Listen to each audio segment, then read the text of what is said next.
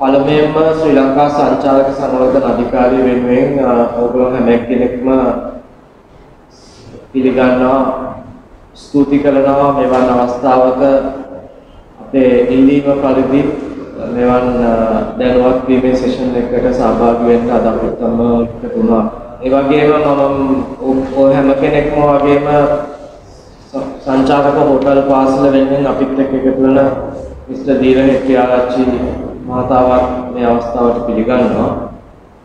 අපි අද මේ පැය කීපය පුරා බලාපොරොත්තු වෙන්නේ සංචාරක සේවා සපයන විවිධාකාර වූ සපයන්නන් අතර ඉතාමත්ම වැදගත් රාජකාරියක් ඉෂ්ට කරන ඔබතුමන්ලාගේ සංගමය නියෝජිතයන් වන ඔබතුමන්ලාව අපේ මේ සංචාරක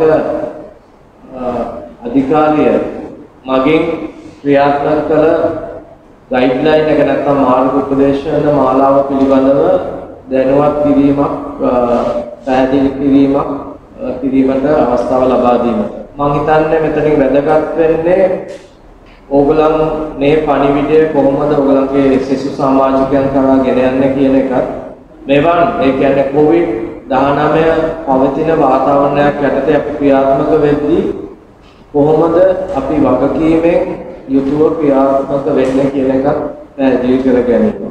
ඉතින් මම ඉක්මනින්ම ඔයගලන්ව අරන් යනවා මීට මාස 9කට 10කට විතර ඉස්සෙල්ලා ලංකාවෙන් පළවෙනි කොවිඩ් රෝගියා වාර්තා වෙච්ච අවස්ථාවේදී අපි ලංකාව ඇතුලේ සංචාරකයන් 80000කට ආසන්න ප්‍රමාණයක් ඒ වෙන විට හිටියා. එතකොට සංචාරක කර්මාන්තය නියාමනය කරන ආයතනයේ විදියට මම හිතන්නේ අපිට තිබුණු ප්‍රධාන වගකීමක් ප්‍රධාන ගැටලුවක් උනේ කොහොමද මේ 80000ක සංචාරකයන් පිරිස ආරක්ෂාකාරීව තමුන් තම තමුන්ගේ රටවල් කරා නැවතත් යොමු කරන්න කියන එකත් එතරම්දි තිබුණ ලොකුම බාධා වුණේ අපිට අවාසනාවකට මේ 80000 කොහෙද ඉන්නේ කියලාවත් අපි ළඟ ඇත්තටම දත්ත තිබුණේ නැහැ. ඒකට හේතුව ඔබතුමන්ලා හැම කෙනෙක්ම දන්නවා වගේ ලංකාවේ සංචාරක සේවා සපයන හැම පුද්ගලයෙක්ම සංචාරක සංවර්ධන අධිකාරියේ ලියාපදිංචි වෙලා නැහැ. අපේ ලියාපදිංචි වෙලා ඉන්නේ 140කට ආසන්න ප්‍රමාණයක්. ඒ කියන්නේ බහුතරයක් 60ක් වගේ අපිත් එක්ක සම්බන්ධ වෙලා නැහැ. ඉතින් ඕක තමයි මම හිතන්නේ අපිට තියෙන පළවෙනි සහ ලොකුම අභියෝගය.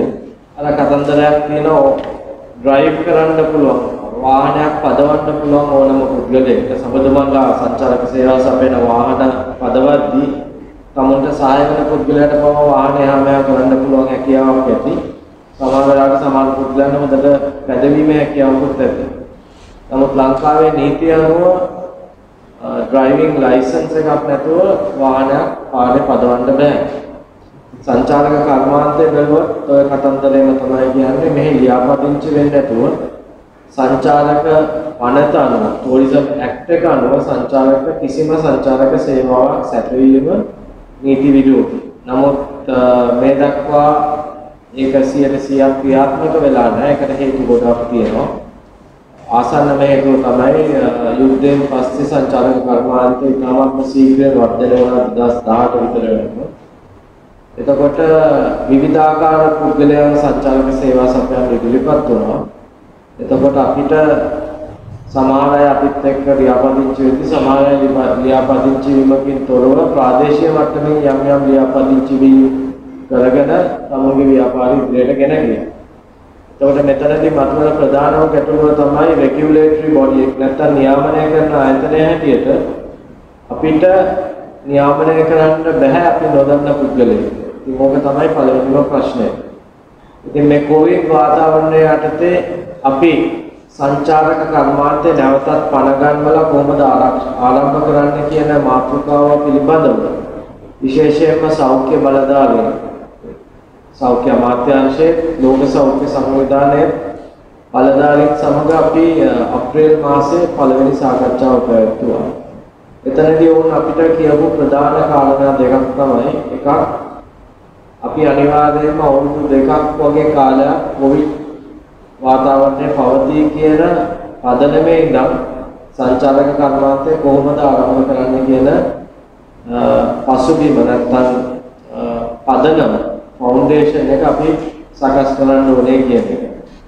දෙවන එක තමයි ඕන් කිව්වේ මෙවන් වාතාවරණයක් ඇතුළත අපි ඔපරේට් වෙද්දී අනිවාර්යයෙන්ම සේවා සපයන්නන්ගේ වගකීම ගන්නා ආයතනයක් අනිවාර්යයෙන්ම තියෙන්න ඕනේ කියන්නේ. ඉතින් ඔන්න ඔය පදනමේ ඉඳගෙන තමයි අපේ ගයිඩ්ලයින් එක අපි ඉදිරිපත් කරන්න උත්සාහ කෙරුවේ. එතකොට එතනදී ඕන් කියපු තව දෙයක් තමයි කොවිඩ් කියන එකට ස්ථීර ප්‍රතිකාරයක් තාමත් හොයාගෙන නැහැ. මම කියන්නේ අප්‍රේල් මාසේ මාස 9කට විතර ඉස්සෙල්ලා කතන්දරය. යම් පුද්ගලයෙකුට කොවිඩ් රෝගය වැළඳුණොත් ඔහු මේ පිළිබඳව කළ යුතු කාරණා පහක් තියෙනවා. ඔකට ඩ්‍රීම් පැකේජ් එක කියලා කියන ඉංග්‍රීසි භාෂාවේ අකුරු පහ හරහා සිම්පල් ටර්ම්ස් වලින් කියනවා නම් අපි හැම කෙනෙක්ම කරන්න ඕන කාරණා පහක් තියෙන එකක් හැකි සෑම අවස්ථාවකදීම එළියට යන සෑම අවස්ථාවකදීම පුද්ගලයන් සමග ගැවසෙන සෑම අවස්ථාවකදීම අපි safe distance නැත්නම් ආරක්ෂාකාරී පළතරයක් රඳවා ගත යුතුයි. ඒක සාමාන්‍ය වශයෙන් මීටර එකක් කියද්දී සෞඛ්‍ය බලධාරී සංචාරක කර්මාන්තය සඳහා මේක මීටර 1.5ක පළතරයක් කියන එක පැහැදිලිව සඳහන් කරනවා. දෙවැනි දේ තමයි අපි හැම කෙනෙක්ම හැම විටම ෆේස් මාස්ක් අලඳගෙන අපේ කාර්යවල රාජකාරිවල නිරත වෙන්න ඕනේ කියන්නේ. තුන්වෙනි එක තමයි අපි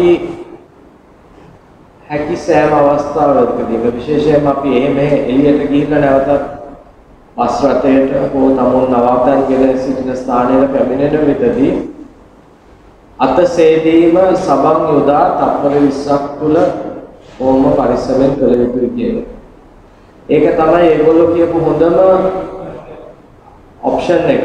ඊට සෙකන්ඩරි ඔප්ෂන් එකක් හැටියට තමයි අපි පාවිච්චි කරන සැනිටයිසර් නැත්නම් 70% මධ්‍යසාර අඩංගු දියදේ අත නිතර නිතර පිරිසිදු කරන එක ඉදිරිපත් කරලා තියෙනවා.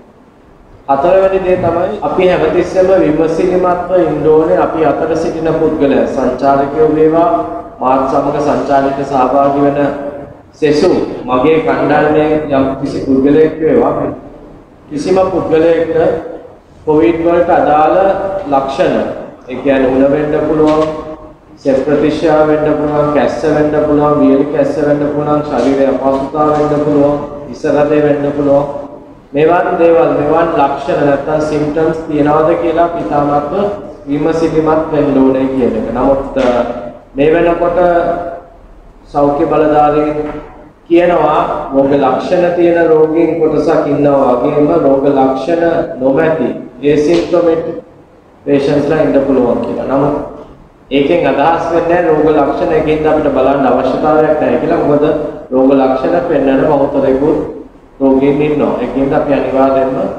රෝග ලක්ෂණ පිළිබඳව විමසිලිමත් වෙන්න ඕනේ කියන එක සෞඛ්‍ය මතය. අවසාන සහ ඉතාමත්ම වැදගත් පස්වන ඉල්ලීම තමයි ඕක කෙරුවේ අපි ගමන් කරන විට අපි සංචාරයක් යන විට අපි සංචාරයක් අවසන් කරලා එන විට අපි වෙනම ඕනම ස්ථානයකට යන විට අපිට වගකීමක් තියෙන්න ඕනේ. අපිත් සමග ගමන් කරන පුද්ගලයනොත් ඒ ඒ ස්ථානවලදී අපිත් සමග ගැටෙන පුද්ගලයන්ගෙනුත් සම්පූර්ණ විස්තර සවිස්තර වාර්තාවක් අප සමග අඩුම ගානේ දින 30ක කාල පරිසරයකට තබා ගන්න මොකද ඒකේ අවශ්‍යතාවය තමයි අපි ඔය කියන කොන්ට්‍රැක්ට් ට්‍රේසින් නැත්නම් රෝගියෙක් යම් තැනකදී මතුවුණොත් ඒ රෝගියා ඔහු සමග ළඟින් ආශ්‍රය කරපු පුද්ගලයෙකුට අපිට හැකියක්මෙන් සොයාගෙන ඔවුන්ගේ සමාජයට වෛරසය තවත් පැතිරෙන එක වළක්වන්න ක්‍රියාත්මක කිරීම. ඔන්න ඔය ක්‍රියාමාර්ග පහ තමයි අපිට වෛද්‍යමය පැත්තෙන් ලබා දුන්න උපදෙස් මේ ක්‍රියාමාර්ග පහ කොහොමද ඔබතුමන්ලාගේ කර්මාන්තේ දෛනික කටයුතු වලදී ක්‍රියාත්මක කරන්න කියන එක පැහැදිලිව අපිට සඳහන් වෙන විස්තරාත්මක ડોකියුමන්ට් එකක් ඩෙවලොප් කරන්න ඕනේ. අන්න ඒක තමයි ඔබතුමන්ලාගේ මාර්ග උපදේශනය වෙනවයි කියන එක තමයි අපිට ලබා දුන්න පණිවිඩය.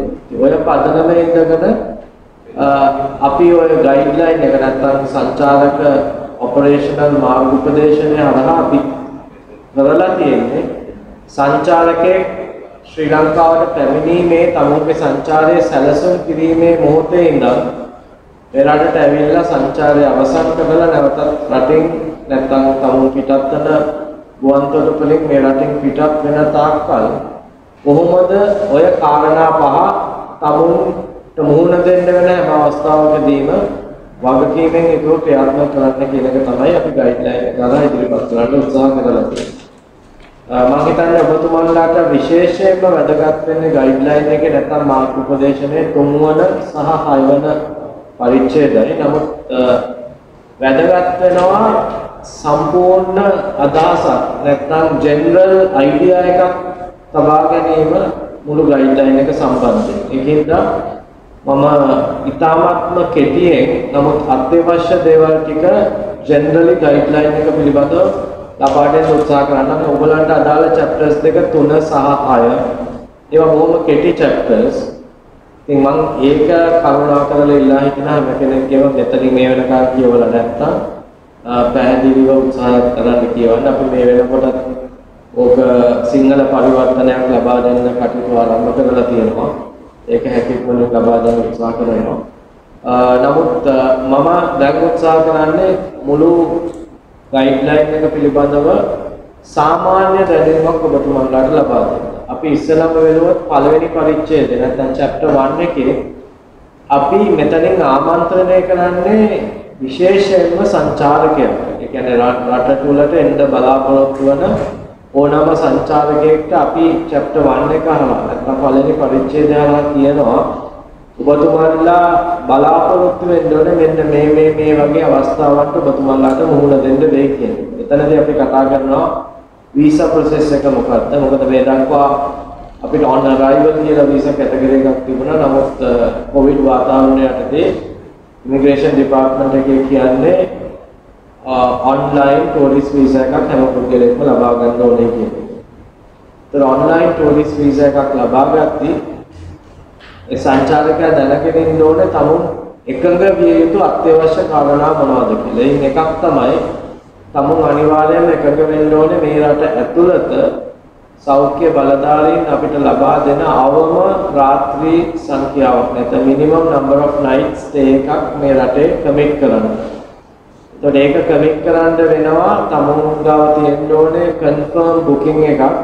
ඒ confirm booking එක අනිවාර්යයෙන්ම safe and secure certified uh, නවාතැන් පහසුකම් සපයන්න හරහා එක ඒකඟතාවය තියෙන්න දෙවැනි එක සංචාරකයා එකඟ වෙන්න ඕනේ රටට ඇතුල් වුණාට පසු අවම වශයෙන් PCR පරීක්ෂණ දෙකකට මුහුණ දෙන්න. ඒ වගේම රටට ඇතුල් වීමට නැත්නම් තමුන්ගේ පිටත් වන ගුවන් තොටුපළේ පිටත් වීමට පැය 96කට පෙර නෙගටිව් PCR report එකක් ප්‍රොඩියුස් කරන්න නැත්නම් ඉදිරිපත් කරන්න. ඒ වගේම සංචාරකයා එකඟ වෙන්න ඕනේ තමුන්ට තමුන්ගේ තියෙන ඉන්ෂුරන්ස් කවර් එකේ කොවිඩ් කියන වාතාවරණයේ ආවරණය ගන්න නැත්නම් ඒ සඳහාම විශේෂිත COVID-19 ඉන්ෂුරන්ස් කවර් එකක් ලබා ගන්නවා. ඒ පහසුකම අපි සපයනවා ලංකාවේ ඉන්ෂුරන්ස් කම්පැනි එකක් කරා සාමාන්‍යයෙන් නොමිනල් ප්‍රීමියම් එකකට ඩොලර් 40ක් 50ක් විතර ගෙවීමෙන් යම් පුද්ගලයෙක්ට තමුන්ගේ ඉන්ෂුරන්ස් කවර් එකෙන් COVID වාතාවරණය කවර් වෙන්න නැත්නම් ඒ ආවරණය ලබා ගන්න හැකියාව තියෙනවා. මෙන්න මේ කාරණා තුන සම්පූර්ණ කෙරුවට පස්සේ සහ ඊට අමතරව තව අත්‍යවශ්‍ය කාරණාවක් තියෙනවා.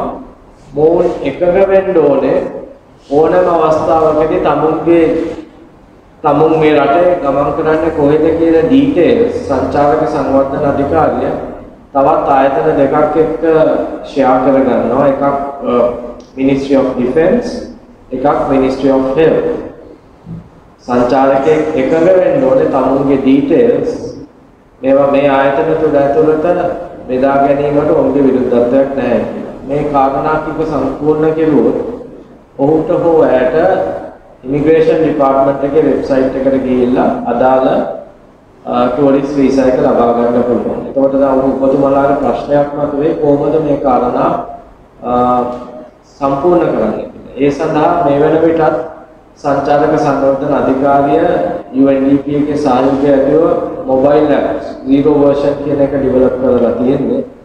ඒක අපි දැනටත් කැබිනට් අනුමැතිය බලාපොරොත්තු වෙමින් ඉන්නා මොකද මේකෙදී සංචාරක සංවර්ධන අධිකාරියේ මොබයිල් ඇප්ලිකේෂන් එකක් ආගමන විගමන දෙපාර්තමේන්තුවේ ඔන්ලයින් වීසා ප්‍රොසෙස් එකත් එකට සම්බන්ධ කරන්න වෙනවා ලින්ක් කරන්න වෙනවා. නමුත් මේ ආයතන දෙක අමාත්‍යාංශ දෙකක් යටතේ නැ හින්දා ඒ සඳහා කැබිනට් අනුමැතියක් අවශ්‍යයි. ඉතින් කැබිනට් අනුමැතිය සඳහා අදාළ ඉල්ලීම් පත්‍රිකාවක් හැටියට අපි අදාළ මිනිස්ට්‍රි එකට යොමු කරලා තියෙන්නේ. ඒක ලැබිච්ච විගසම මොබයිල් ඇප් එක ඉමිග්‍රේෂන් ඔන්ලයින් වීසා ප්‍රොසෙස් එකට සම්බන්ධ වෙනවා. එතකොට යම් පුද්ගලයෙක් තමුන්ගේ වීසා එක ඇප්ලයි කරන්න ගියාම ඉස්සෙල්ලාම කියන්නේ SLTD එකේ මොබයිල් ඇප් එක ඩවුන්ලෝඩ් කරලා අර මම ඉස්සෙල්ලා කියපු කාරණා ටික සම්පූර්ණ කරන්න ඕනේ කියලා. එතකොට පුද්ගලයෙක්ට වෙනවා මොබයිල් ඇප් එක අරහා අපේ දැන් safe and secure certified service providersලා මොබයිල් ඇප් එකට අපි ඇතුළත් කරනවා. එතකොට සංචාරකයන්ට පුළුවන් ඒ සම්බන්ධ සේවා සපයන්නන්ගෙන් තමුන්ට ඉන්න ඕන හෝටලේ තෝරගන්න නැත්නම් තමුන් වැඩ ගන්න ඕන ට්‍රැවල් ඒජන්ට්ව තෝරගන්න. සහ ඒ සඳහා අදාළ ගෙවීම කරන්න. ඊට අමතරව PCR සඳහා අදාළ ගෙවීම කරන්න තමුන්ට ඉන්ෂුරන්ස් එකක් තියෙනවා නම් කොවිඩ් කවර් වෙන ඒ පිළිබඳව සනාථ කිරීමක් කරන්න පුළුවන්. එසේ නැත්නම් අපි සපයන සේවා වහලා ඉන්ෂුරන්ස් කවර් එකක් ලබාගෙන මේ සියලු දේව සම්පූර්ණ කරලා තමුන් අර මම ඉස්සලා කියපු කාරණාවලට එකඟයි කියලා කන්ෆර්ම් කරුවාට පස්සේ උන්ට හම්බ වෙනවා රෙෆරන්ස් නම්බර් එක.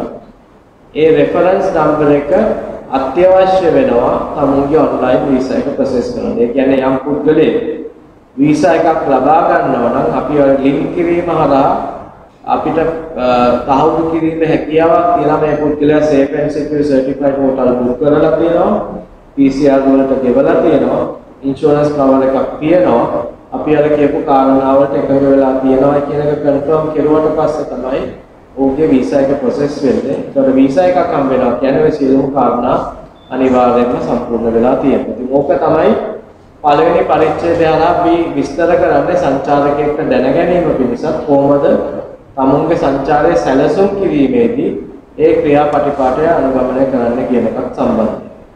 ඊළඟට දෙවන චැප්ටර් එකට නැත්නම් දෙවන පරිච්ඡේදයට ආපුවම අපි සම්පූර්ණයෙන්ම කතා කරන්නේ තමුන් මේ රටට ඇතුල් වෙන ගුවන් තොටුපළේදී මත්තල වේවා, කටුනායක වේවා, රත්මලාන වේවා. සංචාරකයෙකුත් ගුවන් තොටුපළ ඇතුළත සේවා සපයන අනිත් සියලුම සමාජිකයන් ඩියුටි ෆ්‍රී shops වල සේවකයන් වෙන්න පුළුවන් ක්ලීනින් සේවකයන් වෙන්න පුළුවන් බැංකු සේවකයන් වෙන්න පුළුවන් එයාලයින් ක්‍රූ එක වෙන්න පුළුවන්. මේ හැම පුද්ගලයෙක්ම රටට ඇතුල් වීමේ පර්යන්තය තුළදී කොහොමද වගකීමක් ඇතිව අර මම ඉස්සලා කියපු කාරණා පහ ක්‍රියාත්මක කරන්න කියන එක පිළිබඳව තමයි අපි දීර්ඝ වශයෙන් එක් එක් සේවා සපයන සෙක්ෂන් එක අරන් දෙවන පරිච්ඡේදය හරහා විස්තර කරන්න උත්සාහ කරලා තියෙනවා. එතනින් අපි බේසිකලි සංචාරකයා වගේම ඇතුල් වීමේ පර්යන්තය ඇතුලේ විවිධාකාරව සේවා සපයන සේවක මහතුන් සහ මහත්මීන්ව ආමන්ත්‍රණය කරලා ඔවුන්ගෙන් අපි ඒ බලාපොරොත්තු වන වගකීම පිළිබඳව අපි දීර්ඝ වශයෙන් සාකච්ඡා කරලා තියෙනවා. ඊළඟට අපි පැමිණෙනවා තුන්වෙනි පරිච්ඡේදයට විශේෂයෙන්ම ගුවන්තොටුපළේ සිට නවාතැන් පොළ දක්වා රට ඇතුළත සංචාරය කිරීමේදී කොහොමද දරන්නේ කියන එක. මෙතනදී අපි ආමන්ත්‍රණය කරන්නේ ඒ කාර්යයට උර දෙන ඔබතුමන්ලා විශේෂයෙන්ම තමුන්ගේ වාහන තමුන් වාහන ඇතුළත සංචාරක වරන් යද්දී යම් තැනක ඇට්‍රැක්ෂන් එකක් වේවා ඇක්ටිවිටි එකක් වේවා නැත්නම් යම් අවස්ථාවකදී පාරායිනේ අපේ සර්ටිෆයිඩ් සේවාවක් ලබා ගන්නට අපි අපි කියන්නේ මිනිස්ට්‍රි ඔෆ් හෙල්ත් එකෙන් අවසරය ලබා දුන්නොත් එවන් ස්ථානයක නවත්තලා නැවතත් වාහන ඇතුළත ගැනීමේදී අපි කොහොමද ක්‍රියාත්මක වෙන්න ඕනේ අපි මොනවද පිළිපදින්න ඕනේ අපි මොනවද නොකළ යුත්තේ කියන එක පිළිබඳව ඉතාමත්ම සරලව පැහැදිලිව ඉදිරිපත් කිරීමක් තමයි තුන්වෙනි පරිච්ඡේදය හරහා අපි කරන්නේ. ඊළඟට හතරවෙනි chapter එකේදී අපි basically කතා කරන්නේ නවාතැන් සේවා සපයන්නට. නැත්නම් accommodation sector නැත්නම් hotels සහ අනිකුත් නවාතැන් පහසුකම් සපයන්නට. මේක තමයි මම හිතන්නේ අපේ guideline එකේ 150කට වැඩිය ප්‍රමාණයක් ආවරණය වෙන්නේ. ඒකෙන් අදහස් වෙන්නේ accommodation sector එක තමයි වැදගත් කියලා. නමුත් එතන ඉච්ඡර ප්‍රමාණයක් ආව වෙන්නේ accommodation sector එකේ තමයි වැඩියෙන්ම කාලයක් ගත කරන්න තියෙන්නේ. එතන අංශ ගොඩක් තියෙනවා. හෝටලයට ඇතුල් වීමේ ඉඳන් රිසෙප්ෂන් එක, කාමර, වෙන පූල්, ජිම්, ස්පා වගේ සේවාවන්, රෙස්ටෝරන්ට් එක, හෝටලේ ඇතුලේ කිචන් එක, ස්ටාෆ් ඇකමඩේෂන් එක, හෝටලෙන් වේදුරු මාතුන් සඳහා යම් පාසුකම් සපයනවා නම් ඒ සපයන පාසුකම් මේ හැම දෙයක්ම අපේ හතරවන පරිච්ඡේදය හරහා කවරණය කරලා තියෙනවා. ඩීටේල් එක එක සෙක්ෂන් එකේ කිචන් එක ගත්තොත් කිචන් එකේ හැම කාර්යයක්ම කොහොමද අර මම ඉස්සෙල්ලා කියපු කාරණා පහ ඇතුළත ඉඳන් ක්‍රියාත්මක කරන්න කියන එක තමයි අපි කියලා තියෙන්නේ. පස්වෙනි චැප්ටර් එකේදී අපි කතා කරනවා අනෙකුත් සේවා සපයන්න. ඒ කියන්නේ අපි මෙතනින් කතා කරන්නේ ඇත්තටම හෝටල් වලින් එළිය තියෙන රෙස්ටෝරන්ට් එකක් වෙන්න පුළුවන්, ජිම් එකක් වෙන්න පුළුවන්, ස්පා එකක් වෙන්න පුළුවන්, තියටර් එකක් වෙන්න පුළුවන්, shopping mall එකක් වෙන්න පුළුවන්, පාරයිනේ තියෙන කඩයක් වෙන්න පුළුවන්, වෙන්ඩර් කෙනෙක් වෙන්න පුළුවන්, ෆැමිලි උතුරන පුද්ගලෙක් වෙන්න පුළුවන්. නැත්තම් සංචාරක එළියට බෑලා තමුන් නිකන් හැන්දෑවක් පොඩ්ඩක් ඇවිදින්න යන ලෝකල් කමියුනිටි එක වෙන්න පුළුවන්. මේ මේ සමහර දේවල් මේ වෙලාවේ අපිට ක්‍රියාත්මක කරන්න අවසරය නැති වෙන්න පුළුවන්. නමුත් අපි යම් මොහොතක මේ යම් යම් අවසර ලැබුණොත් කොහොමද ක්‍රියාත්මක වෙන්නේ කියන එක පිළිබඳව පැහැදිලිව ඔය හැම අංශයක්ම කවර වෙන විදිහට පස්වෙනි පරිච්ඡේදය හරහා ඒ අදාළ සේවා සපයන්නන්ටත් සේවා සපයද්දී ඒ සමග ගැටෙන අනිකුත් පුද්ගලයන්ට මම ගැටෙද්දී කියද්දී වෙන්න පුළුවන් සංචාරකයා සුපර් මාකට් එක යද්දී සංචාරකයා කියන එක්කෙනා එක පාර්ශවකරුවෙක් වෙනවා. සුපර් මාකට් එකේ ස්ටාෆ් එක තව පාර්ශවකරුවෙක් වෙනවා. සුපර් මාකට් එකේ ඇතුළත වෙන වයර් මමයි වගේ සාමාන්‍ය පුරවැසියා අනිත් පාර්ශවකරුවෝ වෙනවා මේ හැම පාර්ශවකරුවෙක්ම අපි ආමන්ත්‍රණය කරලා තියෙනවා. තමුන් කොහොමද එවන් අවස්ථාවකදී ආරක්ෂා වෙලා කටයුතු කරන්න කියන එක සම්බන්ධයෙන්. ඊළඟට හයවෙනි පරිච්ඡේදයකදී අපි දීර්ඝ වශයෙන් කතා කරනවා Uh, DMCs නැත්නම් travel agents tour groups. සහ tour crews. Tour crew එකක් කියපුවම අපි basically cover කරන්නේ රියදුරු මහත්තයා uh, සහායකයා ඒ වගේම guide සහ translators ලා ඉන්නවා ඒ පුද්ගලයන්. ඒ හැම කෙනෙක්ම සංචාරකයක් ඇතුළේදී තමුන් කොහොමද වගකීම දරන්නේ? කොහොමද ඒක හරියට ක්‍රියාත්මක කරන්නේ? කොහොමද තමුන්ට සේවාව ලබා දෙන ආයතනය? travel agent වේවා නැත්නම් ටූර් ඔපරේටර් වේවා නැත්නම් හෝටලයක් වේවා. මොකද මේ කොවිඩ් වාතාවරණයේදී ඔබතුමන්ලාගේ සේවය සමාගමකට ඩිරෙක්ට්ලි නවාතැන් පාසුකම් සපයන්නට ලබා ගැනීම හැකියාවක් තියලා තියෙනවා. ඒ වගේ අවස්ථාවකදී කොහොමද ඔබතුමන්ලා ඒ පාර්ශවයත් එක්ක ඩීල් වෙන්නේ කියන එක පිළිබඳව තමුන් සංචාරයක් අවසන් කරලා සංචාරකයන් එයාපෝට් එකෙන් බස්සලා තමුන්ගේ නිවස කරා යද්දී නිවැසියන්ව කොහොමද ආරක්ෂා කරන්න වගකීමෙන් යුතුව ක්‍රියාත්මක වෙන්න කියන එක තමයි හයවෙනි පරිච්ඡේදය හරහා අපි ආවරණය කරන්න උත්සාහ කරලා තියෙන්නේ. හත්වෙනි පරිච්ඡේදයේදී අපි දීර්ඝ වශයෙන් සාකච්ඡා කරන සංචාරකයෙක් යන්න පුළුවන් අනිකුත් ස්ථාන, ඒ කියන්නේ ඇට්‍රැක්ෂන්ස් වෙන්න පුළුවන් සීගිරිය, දලදා මාලිගාව නැත්නම් පින්නවල වගේ ඇට්‍රැක්ෂන්ස් වෙන්න පුළුවන් නැත්නම් ඇක්ටිවිටි සෙන්ටර්ස් වෙන්න පුළුවන්. වේල් වොචින් වෝටර් ස්පෝර්ට්ස් මේ හැම දෙයක්ම ක්‍රියාත්මක වෙද්දී මේ ස්ථානවලදී කොහොමද සංචාරකයා ඒ සේවා සපයන්නනු මොන්ගේ වගකීම අර කාලනා පහ ඇතුළතදී ක්‍රියාත්මක කරන්න කියන එක තමයි අපි හත්වෙනි පරිච්ඡේදය හරහා ඉදිරිපත් කරලා තියෙන්නේ. විශේෂයෙන්ම ඔබතුමාලා දන්නවා මේ attraction සහ activity places හුඟක් වෙලාවට ඩිරෙක්ට්ලි සංචාලක සංවර්ධන අධිකාරියේ නියාමනයේ යටතට වැටෙන්නේ මෙවන් ආයතන හුඟක් විවිධ අමාත්‍යාංශ සහ විවිධ සේවා සපයන්නන්ගේ යටතේ ඉන්නේ. නමුත් මේ මාර්ග උපදේශනය අපි ඉදිරිපත් කරද්දී අපිට හැකියාවක් ලැබුණා මේ සේවා සපයන සීගිරිය ගත්තොත් සෙන්ට්‍රල් කල්චරල් ෆන්ඩ් නැත්නම් බොටැනිකල් ගාඩන්ස් ගත්තොත් ඒ අදාළ ඩිපාර්ට්මන්ට් එක zoo zoos ගත්තොත් zoological department. එක මේ හැම ආයතනයක්ම මේ කර්තව්‍යයේ පාර්ශව කරුවන් කරගන්න. එතුම එතකොට අපිට එතුමන්ලාගේ අදහස් එක තමයි හත් වෙන පරිච්ඡේදය. එතුමන්ලාගේ ස්ටාෆ් එකට ගයිඩ්ලයින් එකක් හැටියට අපි ඩෙවලොප් කරලා තියෙනවා. ඊළඟට අටවෙනි පරිච්ඡේදය ගත්තොත් අපි ආමන්ත්‍රණය කරන්නේ regional provincial local tourism සහ අනිකුත් සංචාරක සේවාවට සම්බන්ධ ඩිපාර්ට්මන්ට් සහ ආයතන සඳහා මොකද අපි ගයිඩ්ලයින් එකක් හැදුවට පස්සේ අපි සර්ටිෆිකේෂන් ප්‍රොසෙස් එකක් ඉදිරිපත් කරුවට පස්සේ සර්ටිෆිකේට් එකක් ලබා ගන්න පුළුවන් යම් පුද්ගලයෙක්ට ඒක ඒ වෙලාවේ ක්‍රියාත්මක කළා අපි පස්සේ ඒක හිමිට මගහැරලා දාන්න පුළුවන්. ඉතින් අපි මේ regional provincial local bodies වලින් අපි බලාපොරොත්තු වෙනවා අපිට අවශ්‍ය සහයෝගය ලබා දෙන්න Uh, spot audits uh, unannounced uh, assessments සේවා සපයන්නගේ කරලා ඔවුන් මේ මේවා හරියටම ක්‍රියාත්මක කරනවද නැද්ද පිළිබඳව අපිට දැනුවත් වීමක් ලබා දීම ආරම්භ. මෙතනදී වැදගත් වෙන්නේ local body එකකට හරි regional body එකකට හරි වගකීමක් තියෙනවා. තමුන්ගේ ප්‍රදේශයේ ජනතාවගේ ආරක්ෂාව ඉස්සලම ක්‍රියාත්මක කරන්න. එතකොට තමුන්ගේ ප්‍රදේශයේ තියෙන සංචාරක සේවා සපයන්නේ වගකීමකින් තොරව ක්‍රියාත්මක කරනවා නම් ඒකේ අවදානම යන්නේ අදාළ local community එකට. ඔන්න ඔය පණිවිඩය හරහා තමයි අපි එතුමන්ලාගේ සහයෝගය ලබා ගැනීමට ක්‍රියාත්මක වෙලා ඒ කර්තව්‍ය අපිට යම් තාක් දුරකට සාර්ථකව කරන්න පුළුවන් වෙනවා. පයිලට් ප්‍රොජෙක්ට්ස් හරහා හෝ ලෝකල් ටූරිසම් හරහා අපිට කම්ප්ලේන්ට්ස් හම්බෙනවා විවිධාකාර පාර්ශවයන්ගෙන් මෙන්න මේ මේ පුද්ගලයා මේවා ක්‍රියාත්මක කරන්නේ නැහැ කියන්නේ.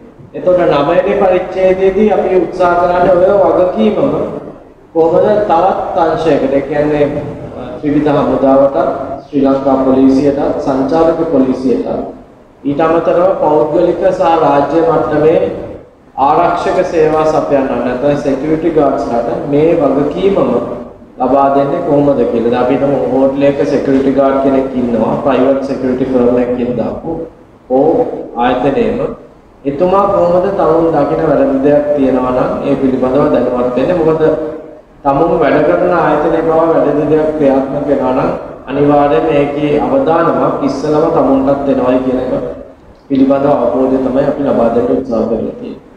එතකොට මේ හැම පුද්ගලයෙක්ටම අපි කියලා දෙනවා ඔබතුමාලා වාහනයක සංචාරකයන් අරගෙන යද්දී ඔය කියන ආයතන සංචාරක පොලිසියට නැත්නම් ශ්‍රී ලංකා පොලිසියට නැත්නම් ත්‍රිවිධ හමුදාවට හැකියාව තියෙන ඔබතුමාලාගේ වාහනය නවත්වලා. මේක හරියට වෙනවද? ඔබතුමාලා හරියට ලයිසන්ස් ඇතුවද ගමන් කරන්න කියන එක සොයා බලන්න. සොයා බලලා මේ ඒක ක්‍රියාත්මක වෙන්නේ නැත්නම් අපි එතුමාලාට කියලා තියෙනවා කොහොමද දැනුම් දීම කරන්න ඕනේ. අදාළ ඉන්ෆර්මේෂන් එකකින්. එතකොට 10 වෙනි පරිච්ඡේදයේදී අපි කතා කරන්නේ අවසාන වශයෙන් සංචාරකයා රටින් පිට වෙද්දී පිටවීමේ පාඩම්ත ඇතුළතදී අර ඉස්සෙල්ලා ඇතුල් වීමේ පාඩම්ත වගේම එතන ගැටෙන විවිධ පුද්ගලයන් ස්ටාෆ් සහ ආයතන වගකීමෙන් යුතුව ක්‍රියාත්මක කරලා මේ අවසාන ක්‍රියාමාර්ගයත් අපි සාර්ථකව කොහොමද නිම කරන්නේ කියන එක. ඒ ගයිඩ්ලයින් එක ඔබ තමයි බේසිකලි පරිච්ඡේද 10ක් හරහා ඉදිරිපත් කරලා තියෙන්නේ. ඒ 10 හරහා ඉදිරිපත් කරපු ගයිඩ්ලයින් එක ඊළඟ වැදගත්ම පුරක උනේ මේ ගයිඩ්ලයින් එක ඒක ක්‍රියාත්මක කරන පුද්ගලයන්ට සම්බන්ධ කිරීම නැත්නම් කනෙක්ටිවිටි එක හරියට ඇති කිරීම. ඉතින් ඒකේ වැදගත් කාර්යයක් තමයි මේ අපි දැන් ක්‍රියාත්මක කරන අවයර්නස් සෙෂන් එක. මොකද ගයිඩ්ලයින් එක කියවද්දි සමහර පුද්ගලයන්ට හිතෙන්න පුළුවන් මේක මේ මට අදාළ නැහැ නැත්නම් මේක යම් යම් ක්ෂේත්‍රවලට විතරයි වැදගත් වෙන්නේ කියලා නෑ. මේක සංචාරක කර්මාන්තයේ හැම සේවා සපයන්නෙක්ම අවබෝධ කරන පරිදි තමයි ඉදිරිපත් කරලා තියෙන. සංචාරක කර්මාන්තය කියන්නේ ලොකු චේන් එකක් වගේ දම්බැලක් වගේ. මේ දම්බැලේ පුරුක් ගොඩක් තියෙනවා. හෝටල් කියන එක එක පුරුකක් විතරයි. right? දැන් ඔය පයිලට් ප්‍රොජෙක්ට් එක කරා අපි දැකපු දෙයක් තමයි උගාක් තැන්වලදී අපේ මිනිස්සු යම් යම් දේවල් ක්‍රියාත්මක කරුවේ නැහැ. right? ඒකේ ප්‍රතිඵලය රිස්ක් එක කොතනද කොයි වෙලාවද මතුවෙන්නේ කියලා අපිට දැන් බලාගෙන ඉන්න වෙලා තියෙන නැත්තක තමයි. අපි ගයිඩ්ලයින් එකක් ඉදිරිපත් කරලා අපි මේ අවයර්නස් සෙෂන්ස් කරලා අපි තවත් පියවරක් ඉස්සරහට තියලා අවයර්නස් සෙෂන්ස් කෙරුවට පස්සේ අපි කිව්වා මේකට සූදානම් පුද්ගලයන්ට සර්ටිෆිකේෂන් එකකට ඇප්ලයි කරන්න. සූදානම් නම් පමණක්.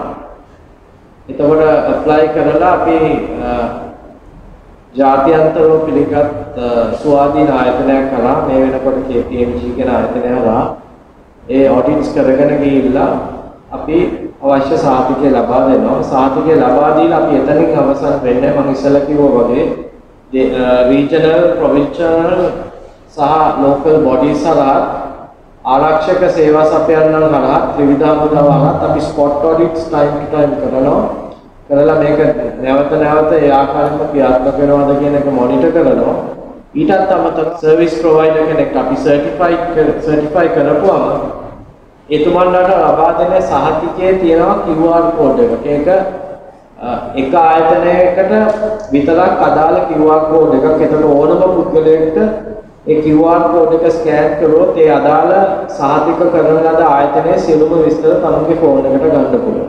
එතකොට ඔබතුමාගේ ආයතනය අපි සාතික කරලා තියෙනවා නම් අපිට හෙට මෙතුමා ඇවිල්ලා කම්ප්ලේන්ට් කරනවා නම් ඔබතුමා අදාළ දේවල් හරියට ක්‍රියාත්මක කරන්නේ නැහැ කියලා අපි ඒක අපේ ටීම් එකක් ඇතුළේ වෙරිෆයි කරගෙන ඇත්තටම එතුමා ක්‍රියාත්මක කරන්නේ නැත්නම් ඒවා ඊටාමත්ම ක්‍රිටිකල් දේවල් නම් අපිට සිද්ධ වෙනවා එතුමාගේ සාතිකය අවලංගු කරන්න. එතකොට සාතිකය අවලංගු කරපුවාම එතුමා ගාව සාතිකය ඇත්තටම තියාගෙන හිටියත් වැඩක් නැහැ ඔබතුමා ගිහිල්ලා ස්කෑන් කළොත් එතන පෙන්වන්නේ මේක කැන්සල් කරපු සාර්ථකයක් හැටියට පමණයි. ඉතින් ওই QR කෝඩ් එක අපි බලාපොරොත්තු වෙන එක දෙයක් තමයි හොර සාතික නිකුත් කිරීමේ හැකියාව අපි නැති කරලා තියෙනවා. ඒක අපිට ඕනම වෙලාවක සාතිකය කැන්සල් කිරීමේ හැකියාව තියෙනවා ෆිසිකලි සාතිකය ඔබතුමන්ලා සතු වුණොත්. සතුන්වෙනි නිසා වැදගත් දේ අර මම ඉස්සෙල්ලා කියවා වගේ ස්පොට් ඔඩිට්ස්. අපි ආයතන කීපයක් සහ විවිධ මුදාවත් පොලිසියත් ආරක්ෂක හරහා කරන්න බලාපොරොත්තු වෙද්දී ඒ අවස්ථාවම අපි තමුන්ගේ හෝටලයට හෝ තමුන්ගේ ට්‍රැවල් ඒජන්සි එකට හෝ තමුන් අදාළ ගයිඩ් එක ගැටෙන ඕනෑම පුද්ගලයෙකුට ඒ අවස්ථාව ලබා දීලා තියෙනවා. මොකද QR කෝඩ් එක ස්කෑන් කරුවාට පස්සේ එතුමන්ලාගේ විස්තරය ඇතුල් වෙන පිටුවේ අවසානයේදී තියෙනවා report any violations. තමුන් යමක් ක්‍රියාත්මක මේ පුද්ගලයා යමක් ක්‍රියාත්මක කරන්නේ නැහැ කියලා ඔබ හිතනවා නම් මේක report කරන්න කියලා. ඒක ක්ලික් කරපු ගමන් හෝටලයක් නම් හෝටලේ අදාළ අංශ කීපයක් තියෙනවා room service lobby Uh, pool gym bar kitchen restaurant. නමුත් අදාළ drop downs ඔක්කොම වෙනවා. ඒකෙන් restaurant එකේ මිනිස්සු uh, distance නැතුව ඉඳලා තියෙනවා නම් නැත්නම් බුෆේ එකක් දාලා තියෙනවා නම් මිනිස්සු බෙදාගෙන කරන ඕනම පුද්ගලයෙක්ට පුළුවන් පින්තූරත් එක්ක ඕන ෆොටෝ එකක් එක නැත්නම් වචනේ ලියලා ඒක report කරන්න. report කරපුවම අපි ඒ සඳහා අවශ්‍ය ක්‍රියාමාර්ග ගන්නවා. ක්‍රියාමාර්ග ගන්න එක සත්‍යයි කියලා පැහැදිලි වුණොත් අපි අදාළ සර්ටිෆිකේෂන් එක කැන්සල් කරන්න උත්සාහ කරනවා. ඒක තමයි මේ ක්‍රියාමාර්ගයේ ඉදිරි පියවර සංචාරක රියදුරු මහතුන්ගෙන් අපි බලාපොරොත්තු වෙන්නේ මෙවන් අවයර්නස් සෙෂන්ස් කිරීම හරහා අදාළ සංගම් වලින් තමුන්ගේ මේ මේ සමාජිකයන් මේ අවයර්නස් සෙෂන් එකකට සහභාගී වෙලා අදාළ දැනුම ලබා ගන්නයි කියලා අපි සාහිතික කරගත්තට පස්සේ අපි ඔබතුමන්ලාට පොඩි සාහිතිකයක් නිකුත් කරන්න බලාපොරොත්තු වෙනවා මේ මෙවන් දැනුවත් වීමේ සම්මන්ත්‍රණයට සහභාගී වුණා කියලා. ඒක සාහිතිකය මහා ලොකු එකක් නෙමෙයි තමුන්ගේ වාහනේ ඩිස්ප්ලේ කරන්න පුළුවන් සයිස් එකක්. එතකොට සංචාරක කර්මාන්තය පටන් ගත්තම කොවිඩ් වාතාවරණය යටතේ අපි කියන්නේ සංචාරක ගමන් පහසුකම් සපයන්න පුළුවන් එවන් අවයර්නස් සෙෂන් එකකට සහභාගී වෙච්ච සමාජිකයන්ට පමණයි. ඒ වගේම එවන් සමාජිකයන් අර සර්ටිෆයිඩ් ගයිඩ් මාර්ටෙක් සමග මම කළ යුතුයි කියන්නේ. එතකොට මෙතනදී දැන් ඔයගලන්ට හුඟක් මතුවෙන ප්‍රශ්නයක් වෙන්න පුළුවන්. අපි දැන් ලංකාවේ මේ දවස්වල කතා වෙන දෙයක් තමයි මේ pilot project. right?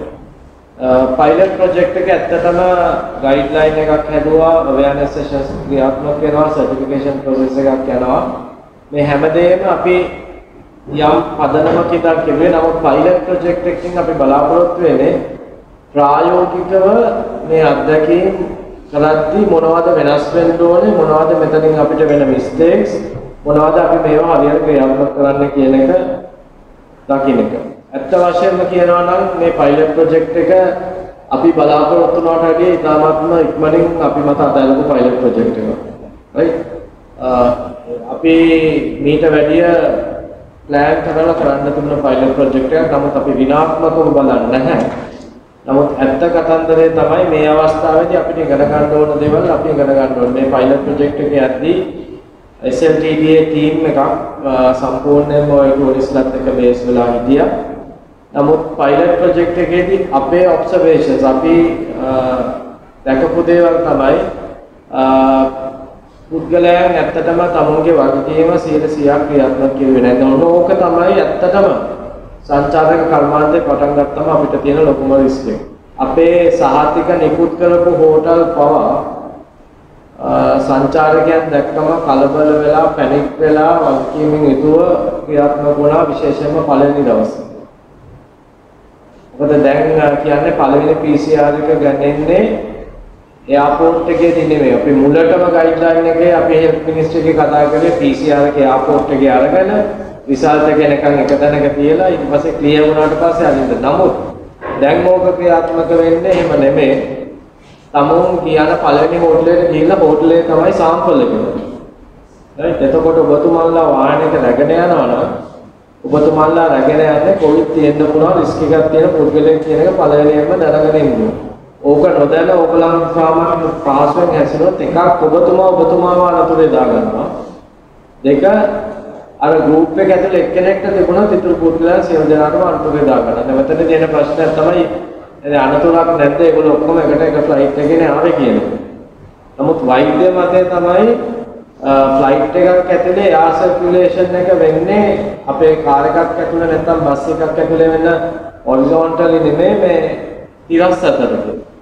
එතකොට තියෙන අවදානම අවමයි කියන එක තමයි වෛද්‍ය මත. එතකොට ඒකෙන්ද තමයි ඒගොල්ලෝ ෆ්ලයිට් එක පේෂන්ට් කෙනෙක් මතුවනත් ඊට ඉස්සෙල්ලා ඉන්න රෝ එකේ ඊට පස්සෙල්ලා ඉන්න පේලේ පුද්ගලයා පමණක් අයිසොලේට් කරන්නේ අනිත් අයට ඒක මතුවීමේ අවදානම අවමයි නැත්තේ නෑ අවමයි කියන මතය තමයි ඉන්නේ හැමතිස්සෙම අවදානමක් තියෙනවනේ ඕනම දැනක මෙතන ඉස්සරහා මිනිහෙක් ඉඳි පිටිපස්සේ එක්කෙනෙක්ට පොඩි chance එකක් තියෙනවා නමුත් ඒ අවස්ථාව අවමයි කියන මතය. ඉතින් ඔය මතයෙන් ඉඳන් මම අර ඉස්සෙල්ලා කිව්වා වගේ මෙතන වැදගත් වෙන්නේ අපි මේවා කොහොමද ක්‍රියාත්මක කරන්න කියලා තමුන් පෞද්ගලිකව ඒ සඳහා වගකීම ගන්න එක. අපිට එදා පළවෙනි දවසේ රාත්‍රියේදී සිද්ධ වුණා සියලුම හෝටල් පළවෙනි දවසේ රාත්‍රියේ මධ්‍යම රාත්‍රියේ හෝටල් වල ජීඑම්ස්ලා කතා කරලා මෙන්න මේක ක්‍රියාත්මක වෙන්නේ මේක පහුවෙන්දා උදේ වෙද්දී අනිවාර්යයෙන්ම ක්‍රියාත්මක වෙන්න ඕන කියන මතයට එන්නේ. හොඳ දේ තමයි හුඟක් හෝටල් වලට පුළුවන් වුණා ඉතාමත් ඉක්මනින් යථා තත්ත්වයටපත් වෙන්න. නමුත් ඊයේ පෙරේද අපි දැක්ක ආයෙත් එක්ස්කර්ෂන්ස් යද්දී මිනිස්සු වගකීමකින් තොරව හැසිරෙච්ච විදියට. right?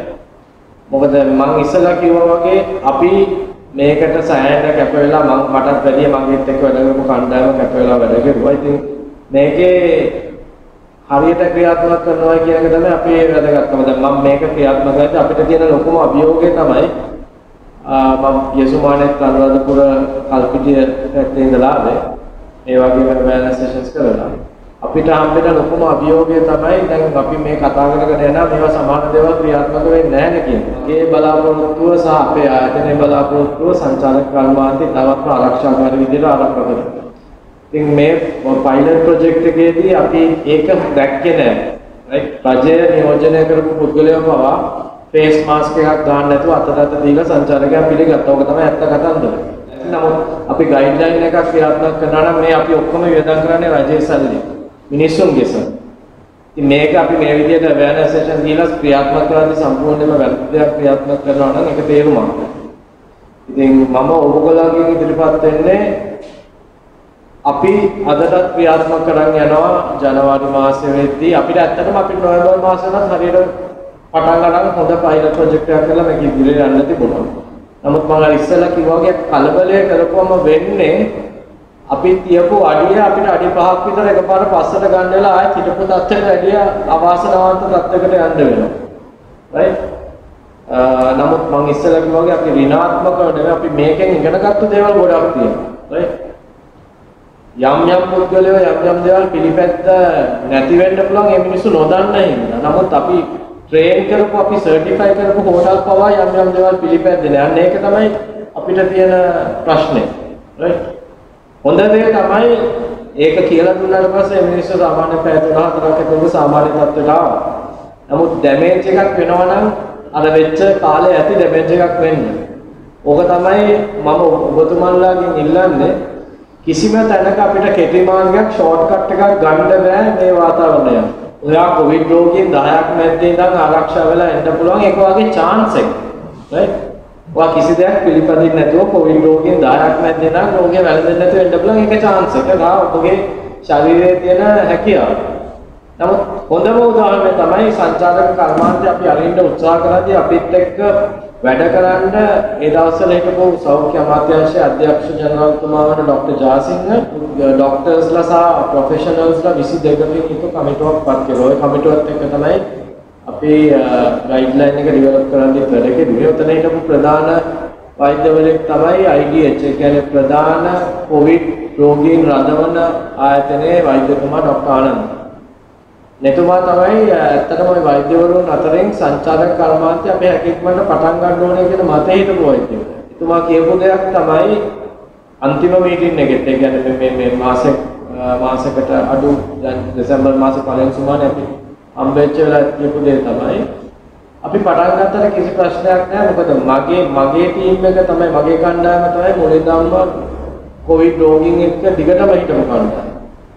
නමුත් අද වෙනකොනොත් මගේ කණ්ඩායම එක පුද්ගලයෙක්වත් කොවිඩ් රෝගේ වැළඳිලා වැළඳිලා තියෙන එකම එක නර්ස් කෙනෙක්ට පමණයි ඒ ඇතුලෙන් නෙමෙයි තමුන් එතුමිය ජීවත් වෙන ප්‍රදේශයේ.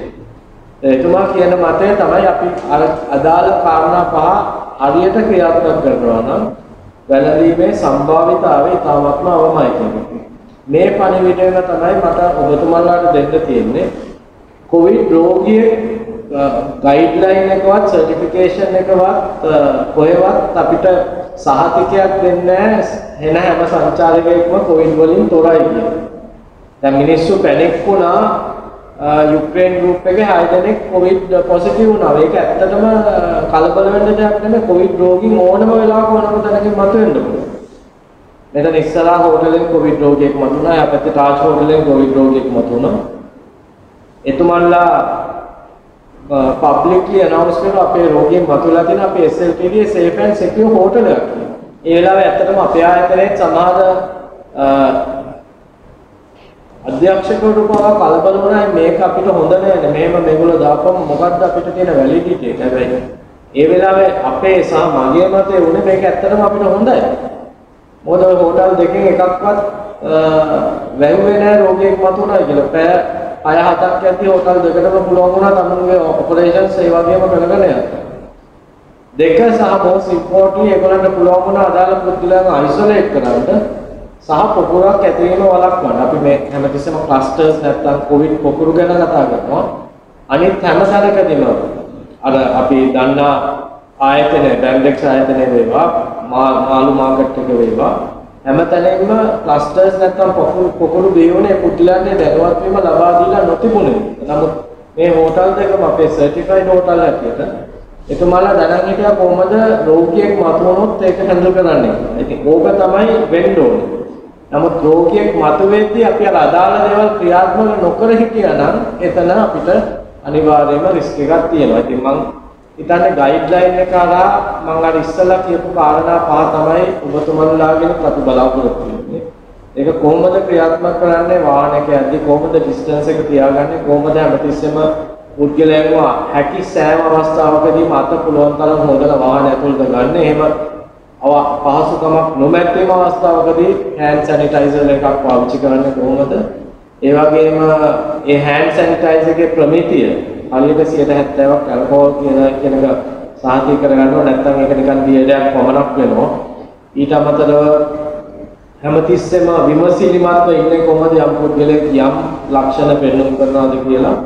ඒ වගේම රෙකෝඩ්ස් මේන්ටේන් කරන්න කොහොමද? ওই කාරණා පහ තමුන්ගේ අදාළ රාජකාරී කොටසදී ක්‍රියාත්මක කරන්නේ කොහොමද කියන එක තමයි මෙතන වැදගත් වෙන්නේ. ඒක අපේ ගයිඩ්ලයින් එකේ යම් යම් අදහස් දීලා ඉතින් නමුත් ඒක එකම ක්‍රමය නෙමෙයි ක්‍රියාත්මක කරන්න පුළුවන්.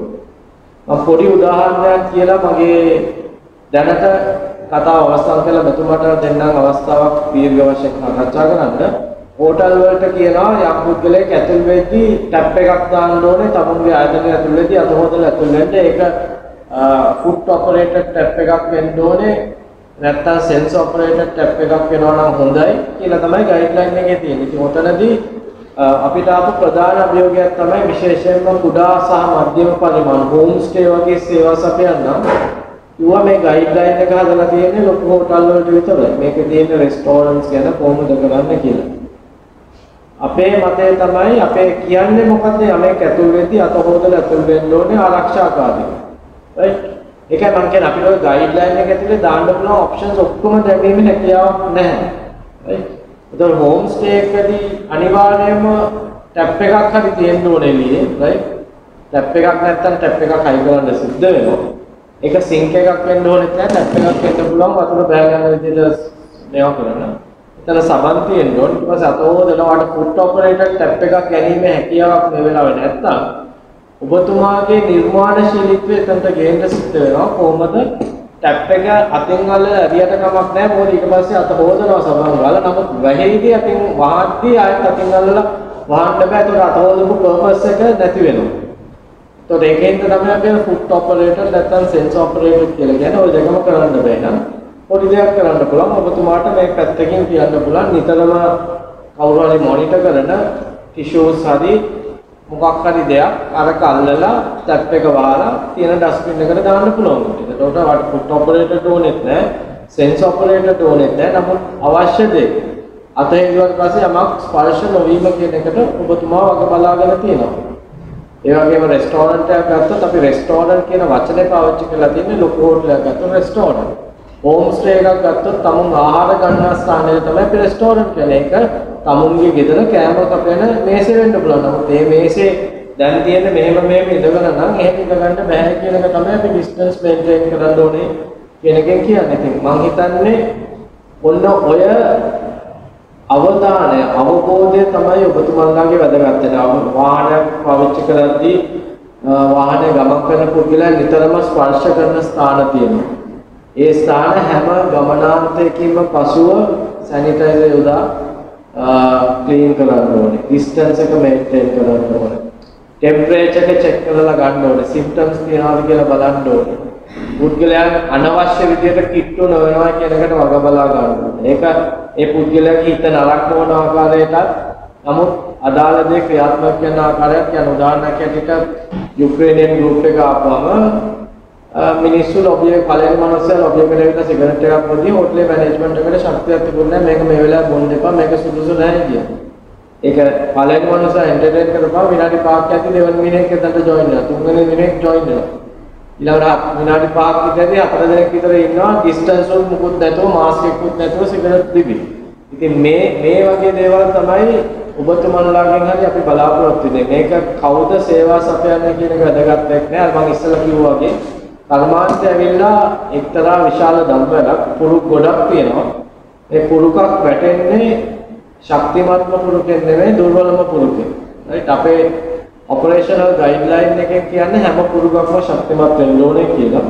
හැබැයි යම් පුරුකක් කැඩුණොත් කැඩෙන්නේ පුරුක විතරක් නෙමෙයි සම්පූර්ණ දම්වැලම එතනින් කැඩෙනවා. right අපේ ඕනම සේවා සපයන්නේ පොඩි මිස්ටේක් එකක් කෙරුවොත් ඒකේ බලපෑම එන්නේ සේවා සපයන්නත් විතරක් නෙමෙයි මුළු සංචාරක කර්මාන්තයකට මේ බලපෑම වෙනවා. අත්ත කතන්දරේ තමයි සෞඛ්‍ය අමාත්‍යාංශයට සංචාරක කර්මාන්තය ආරම්භ කිරීමේ ලොකු හදිසි වමනාවක් නැහැ. මොකද ඒගොල්ලන්ගේ වමනාව තමයි රට පුළුවන් තරම් ආරක්ෂිතව දුවන එක. ඒකට අපිට වරද්දක් කියන්නත් බෑ. අපිට තමයි මේ වමනාව තියෙන්නේ. නමුත් අපිට මේ වමනාව තියෙද්දි අපිට ඒගොල්ලන්ට සහතිකයක් දෙන්න පුළුවන් වෙන්න ඕනේ. අපිට මේ මේක පටන් ගන්න ආරක්ෂාකාරී විදියට කරගෙන යන්න පුළුවන් කියනවා. ඉතින් ඕක තමයි අපි මේ safe and secure certification එක අරන් දෙන්න උත්සාහ කරන්නේ. දැන් යන පයිලට් ප්‍රොජෙක්ට් එකේ අපිට ගන්න පුළුවන් අත්දැකීම් සහ ඉගෙන ගැනීම අපි ලබා ගන්න පරිදි ඒවත් කර්මාන්තයේ විවිධ සේවා සපයනන් එක්ක ෂෙයා කරන්න බලාපොරොත්තු වෙනවා. මෙතනදී ඕගලන්ට අදාළව අපි දැකපු ලොකු දෙයක් තමයි අපිට මෙන්න මේ බස් එක මෙන්න මේ ටෝලිස්ලා අරන් එනවා කියලා report එකක් දෙනවා. නමුත් ඇත්තටම චෙක් කරලා බලද්දී ඒ ඉන්න යදුරු මහතත් නෙමෙයි, ඉන්න ගයිඩුත් නෙමෙයි, ඉන්න සහායකයක් නෙමෙයි බස් එකේ. ඉතින් ඕකදී අපිට තියෙන පළවෙනිම ප්‍රශ්නේ තමයි රෙකෝඩ් කීපින් නැති වෙලා නේද? මම හිතන් ඉන්නේ ඔබතුමයි මෙතුමයි බස් එක යන්නේ කියලා. මොකද ඒ ඩීටේල්ස් තමයි අපිට දීලා දෙන්නේ. ඇත්තටම ගිහිල්ලා තියෙන්නේ මෙතුමයි මෙතුම නම් හෙට ওই බස් එකේ රෝගියෙක් මතුවනවා නම් රයිට් ආරක්ෂක අමාත්‍යාංශයෙන් ඉන්න ඔබතුමා හොයනවා. ඕක තමයි වැඩි හිතන්නේ නැතුව අපි ඊගකට ප්‍රශ්න කරගෙන යද්දි විවිධ කතන්දරගෙන ඒ බ්‍රලියදුර මහන්තේ ආවේ නැහැ අපිට වෙන එක්කෙනෙක් ආදිසියට දාන්න ඕන නමුත් අපි මේ ගින්දරත් එක්ක සෙල්ලමක් කරනවා කියන එක මිනිස්සු තේරුම් ගන්න ඕන. right ඉතින් ඕක තමයි මම හිතන්නේ වැදගත් වෙන්නේ මේ අපි මේ හැම දෙයක්ම කරන්නේ යම් හේතුවක් වෙනවා. දැන් ඔබතුමන්ලාට හරි අදාළ ගයිඩ්ලයින් එකේ යමක් හිතනවා නම් මේක වැඩක් නැහැ කියලා ඉස්සෙල්ලා මේක වැඩක් තියනවද නැද්ද කියන එක සාහිතික කරගන්න. නැත්නම් අපි ඒක කිරීමේ වැඩක් නැහැ. මම උදාහරණයක් කියන්නම්. කොවිඩ් දවස්වල අපි මම මේ කොළඹ ප්‍රධාන පෙළේ හොටල් දෙකකට මට යන්න වුණා යම් ෆන්ක්ෂන්ස් දෙකකට. පළවෙනි එකට යද්දි මම පොඩ්ඩක් පරක්කු වෙනවා. ඒකින්ද අපේ අර ගයිඩ්ලයින් එක කියන හැම ඇතුළේ කෙනෙක්ම තමුගේ ඩීටේල්ස් කියන ෆෝම් එකක් පුරවන්න ඕනේ කියලා. එතන මගෙන් මට ගිය ගමන් එතනට නිලධාරිනිය මට දුන්න මේකස පොඩ්ඩක් පුරවලා යන්න කියලා. මම පරක් වෙලා ඉන්න මම ඇහුවා මේක ඇත්තටම මම පරක් වෙලා ඉන්න මේක පුරවන්න ඕනේද කියලා. මම මට දැනගන්න ඕනේ මෙතුමිය කොහොමද මේකට ප්‍රතිචාර දක්වන්නේ. එතුමියගේ ප්‍රතිචාරය වුණේ මේක සෞඛ්‍ය අමාත්‍යාංශයේ ඉල්ලන දේවල් මොකක්හරි පුරවල් දාලා ලියලා දීලා යන්නකො ප්‍රශ්නයක් නැහැ. ඊළඟට තවත් ඒ වගේම දෙවෙනි උඩ එක ඔය අත්දැකීමත් එක්ක මම තව ෆන්ක්ෂන් එකකට යද්දී එතනත් ඒ රිසෙප්ෂන් එකේ හිටපු ලේඩි දුන්නා මේක පුරවල යන්න කියලා මම ඒක පිළිවෙුවා මටවත් තේරෙන්නේ නැති අපුරවලේ මොකද්ද මේ වෙන්නේ මෙයා මොකද්ද කරන්නේ කියලා. ඒ thank you very much කියලා අරන් යන්නේ ෆයිල් එක ඇතුලේ දාලා. ඒක ඔය කාරණා දෙකේම මම උත්සාහ කරන්නේ මේ මම හිත කොවිඩ් රෝගියෙක් වුණා නම් ওই දෙකේම වැඩක් නැති වෙනවා. මම කොහෙන්ද කියලා හොයන්නවත් බැරි වෙනවා. එතකොට ඒ තමුන්ගේ නිලධාරීන් දැනුවත් වෙන්න ඕනේ යමක් කරන්නේ අපි මොකටද කියලා. right? ඉස්සල්ලාම තමුන්ගේ ආරක්ෂාව තමුන් රස්සාවක් හැටියට සංචාලක කර්මාන්තයේදී දිනෝ රටට ලොකු දායකත්වයක් ලබා දෙනවා. තමුන්ගේ ජීවත් වීමට මේ රැකියාව අවශ්‍ය වෙනවා. නමුත් කාට හරි කිව්වොත් වාට ඕනේ ශරීර සෞඛ්‍යද සල්ලිද කියලා මම හිතන්නේ මිනිහෙක් දෙසරයක් හිතනවා සල්ලි කියන්නේ ඉස්සර. right? ඒක තමයි ඇත්ත කතන්දර. ඉතින් ඔයගොල්ලන් රස්සාවක් කරන්න ජීවත් වෙන්න උනාට ඔයගොල්ලන්ට ඕනේ නැහැ රෝගියක් කරන් තමුන්ගේ ගෙදරට යන්න. right? ඉතින් මේ ඉස්සෙල්ලම තමුන් ආරක්ෂා වෙන්න ඕනේ. තමුන් ආරක්ෂා වෙන්නවායි කියන මතේ හිටියොත් තමුන් ඔය හැම දෙයක්ම ඉතුරු දේවල් ක්‍රියාත්මක කරනවා. මොකද තමුන් ආරක්ෂා වීමේ අවශ්‍ය පරිසරය තමයි ඉතුරු ක්‍රියාමාර්ගලා අපි ඉදිරිපත් කරන්නේ. ඉතින් ඕගලන්ට අදාළ ගයිඩ්ලයින් එකේ තියෙන හැම දෙයක්ම කියවන්න මේක ඇත්තටම කරන්නේ ඇයි කියන එක තේරුම් ගන්න. මම ඒකයි කිව්වේ මේක අවයර්නස් නැත්නම් දැනුවත් වීමේ සෙෂන් එක. ඔබතුමාට හිතනවා නම් මෙන්න මේ අපි කියලා තියෙන්නේ ඇත්තටම වැඩක් නැහැ කියලා. කරුණාකරලා කතා කරන්න මට හෝ මිස්ටර් දීපන්ට හෝ ඕන පුද්ගලයෙක්ට කතා කරන්න. මොකද සමහර වෙලාවට ඔබතුමා හරි වෙන්නත් පුළුවන්. මම ඉස්සලා කිව්වා වගේ අපි හිතලා අපි ඉන්ඩස්ට්‍රි එකටත් දාලා අපි අදහසුත් අරගෙන ගයිඩ්ලයින් එකක් ඉදිරිපත් කරුවා. දැන් අපි අවයර්නස් කරනකොට ඇත්තටම ක්‍රියාත්මක කරද්දී ඔබතුමා හිතන දේ මේකදී හොඳ ක්‍රමයක් වෙන්න පුළුවන්. එහෙමනම් අපි ඒ අත්දැකීම අනිත් අයත් එක්ක බෙදාගෙන අර අපි කියපු දේ නෙමෙයි මේක මීට වඩා හොඳයි කියන එක මතය අපි අනිත් අයත් එක්ක ෂෙයා කරනවා. මම ඒක තමයි කිව්වේ පයිලට් ප්‍රොජෙක්ට් එකක් ඇත්තටම අත්‍යවශ්‍යයි. මොකද ඒකෙන් තමයි අපි මේ ගාපු ගයිඩ්ලයින් එක ඇත්තටම ටෙස්ට් වෙන්නේ. ඒකදී අපි කරගන්න දේවල් ගොඩක් තියෙනවා. right? ඉතින් ඒ වගේ ඔබතුමන්ලාට අදාළ අපි ඉල්ලා සිටින දේවල් ක්‍රියාත්මක කිරීමේදී තියෙන එකම ක්‍රියාමාර්ගය එක නෙමෙයි අවශ්‍ය දේ මොකද්ද අර කාරණා පහ තමුන් කටයුතු වලදී ක්‍රියාත්මක කරන්නේ කොහොමද කියලා දැනගෙන ඉන්නට. ඒ වගේම වැදගත් වෙන දේ තමයි තමුන් යමක් අපි කියනවා ක්‍රියාත්මක කරන්න කියලා ඒක වැඩක් නැහැ කියලා හිතනවා නම් ඒක වැඩක් නැහැ කියලා පැත්තකට දාන්න එපා. මොකද ඒක ඔයා තමුන්ගේ වගකීම පැහැර හැරීමක්. නමුත් වැඩක් නැහැ කියලා හිතනවා නම් අදාළ පුද්ගලයාගේ එක්ක සාකච්ඡා කරලා එතකොට දෙකක් වෙන්න පුළුවන්. එක්ක ඔයාගේ මතය හරි වෙලා අපේ මතය අපි වැරදි කියලා පිළිගන්න පුළුවන්. අපි ඇත්තටම මේ මතේ ඉන්නවා ගයිඩ්ලයින් එක ඩෙවලොප් කරේ මගේ මූලිකත්වයෙන් සහ මගේ එක්ක වැඩ කරන ඇසිස්ටන්ට් ඩිරෙක්ටර්ස්ලා හැදෙනෙක් එක්ක. අපි ඉන්ඩස්ට්‍රි එකෙන් ආපු හැම දෙයක්ම විවේචන වේවා හොඳ අදහස් වේවා හැම දෙයක්ම අපි ධනාත්මකව බාරගත අදටත් එහෙම. මොකද අපි කියන්නේ මේක තමයි ගයිඩ්ලයින් එක මේක තමයි වෙන්න ඕනේ කියලා. අපි හැමතිස්සෙම ඉන්න මතේ තමයි අපි එක ක්‍රමයක් දීලා තියෙනවා ඊට වඩා හොඳ ක්‍රමයක් දීලා නම් අපි ඕන වෙලාවක පිළිගන්න ලෑස්ති. පිළි අරන් විතරක් එතනින් නවතින්නේ. ඒක අපේ ක්‍රමයට වැඩිය හොඳ නම් අපි අනිත් හැම කෙනෙක් එක්කම මේක තමයි අලුත් ක්‍රමයක් දේ වගේ කරපු පෝටල් ඕන තරම් එක ඒ වගේ අපි ගයිඩ්ලයින් එකේ යම් යම් වෙනස්කම් කරපු තැනොත් මේ වෙනකොට තියෙනවා. හොඳට කියවන්න හොඳට තේරුම් ගන්න ක්‍රියාත්මක කරන්න ඕන අර කාරණා පහයි කියන එක ඔලුවට පැහැදිලිව දාගන්න. ඒක දාගත්තොත් මම හිතන්නේ ගයිඩ්ලයින් එක ඔබතුමාගේ විදිහට ක්‍රියාත්මක කරුවත් වෙන්න ඕන දේ විදිහටම වෙයි. ඒ වගේම යමක් අපි ඉල්ලද්දී ඒක වැදගත් නැහැ කියලා හිතනවා නම් ඒක නොකර ඉන්න නැතුව ඒක සාකච්ඡා කරලා ඒ විදිහට ක්‍රියාත්මක වෙන්න. මේක තමයි මගේ ඉල්ලීම. මම හිතන්නේ රටක් හැටියට අවසාන වශයෙන් අපි හැම කෙනෙක්ම පිළිගන්න එකක් තමයි ලංකාව සංචාලන කර්මාන්තයට අවශ්‍ය සම්පත් වලින් අසීමිත රටක්. නමුත් අවුරුදු ගාණක් තිස්සේ අපි තාමත් සංචාලක කර්මාන්තයේ ඇවරේජ් පර්ෆෝමර් සාමාන්‍ය වශයෙන් පැවැත්මක් තියෙන සමාජිකයෙක්. නමුත් ඒකින්ද තමයි අදටත් වර්ල්ඩ් රෑන්කින්ස් අනුව අපි 60කට පුටින් ඉන්නේ.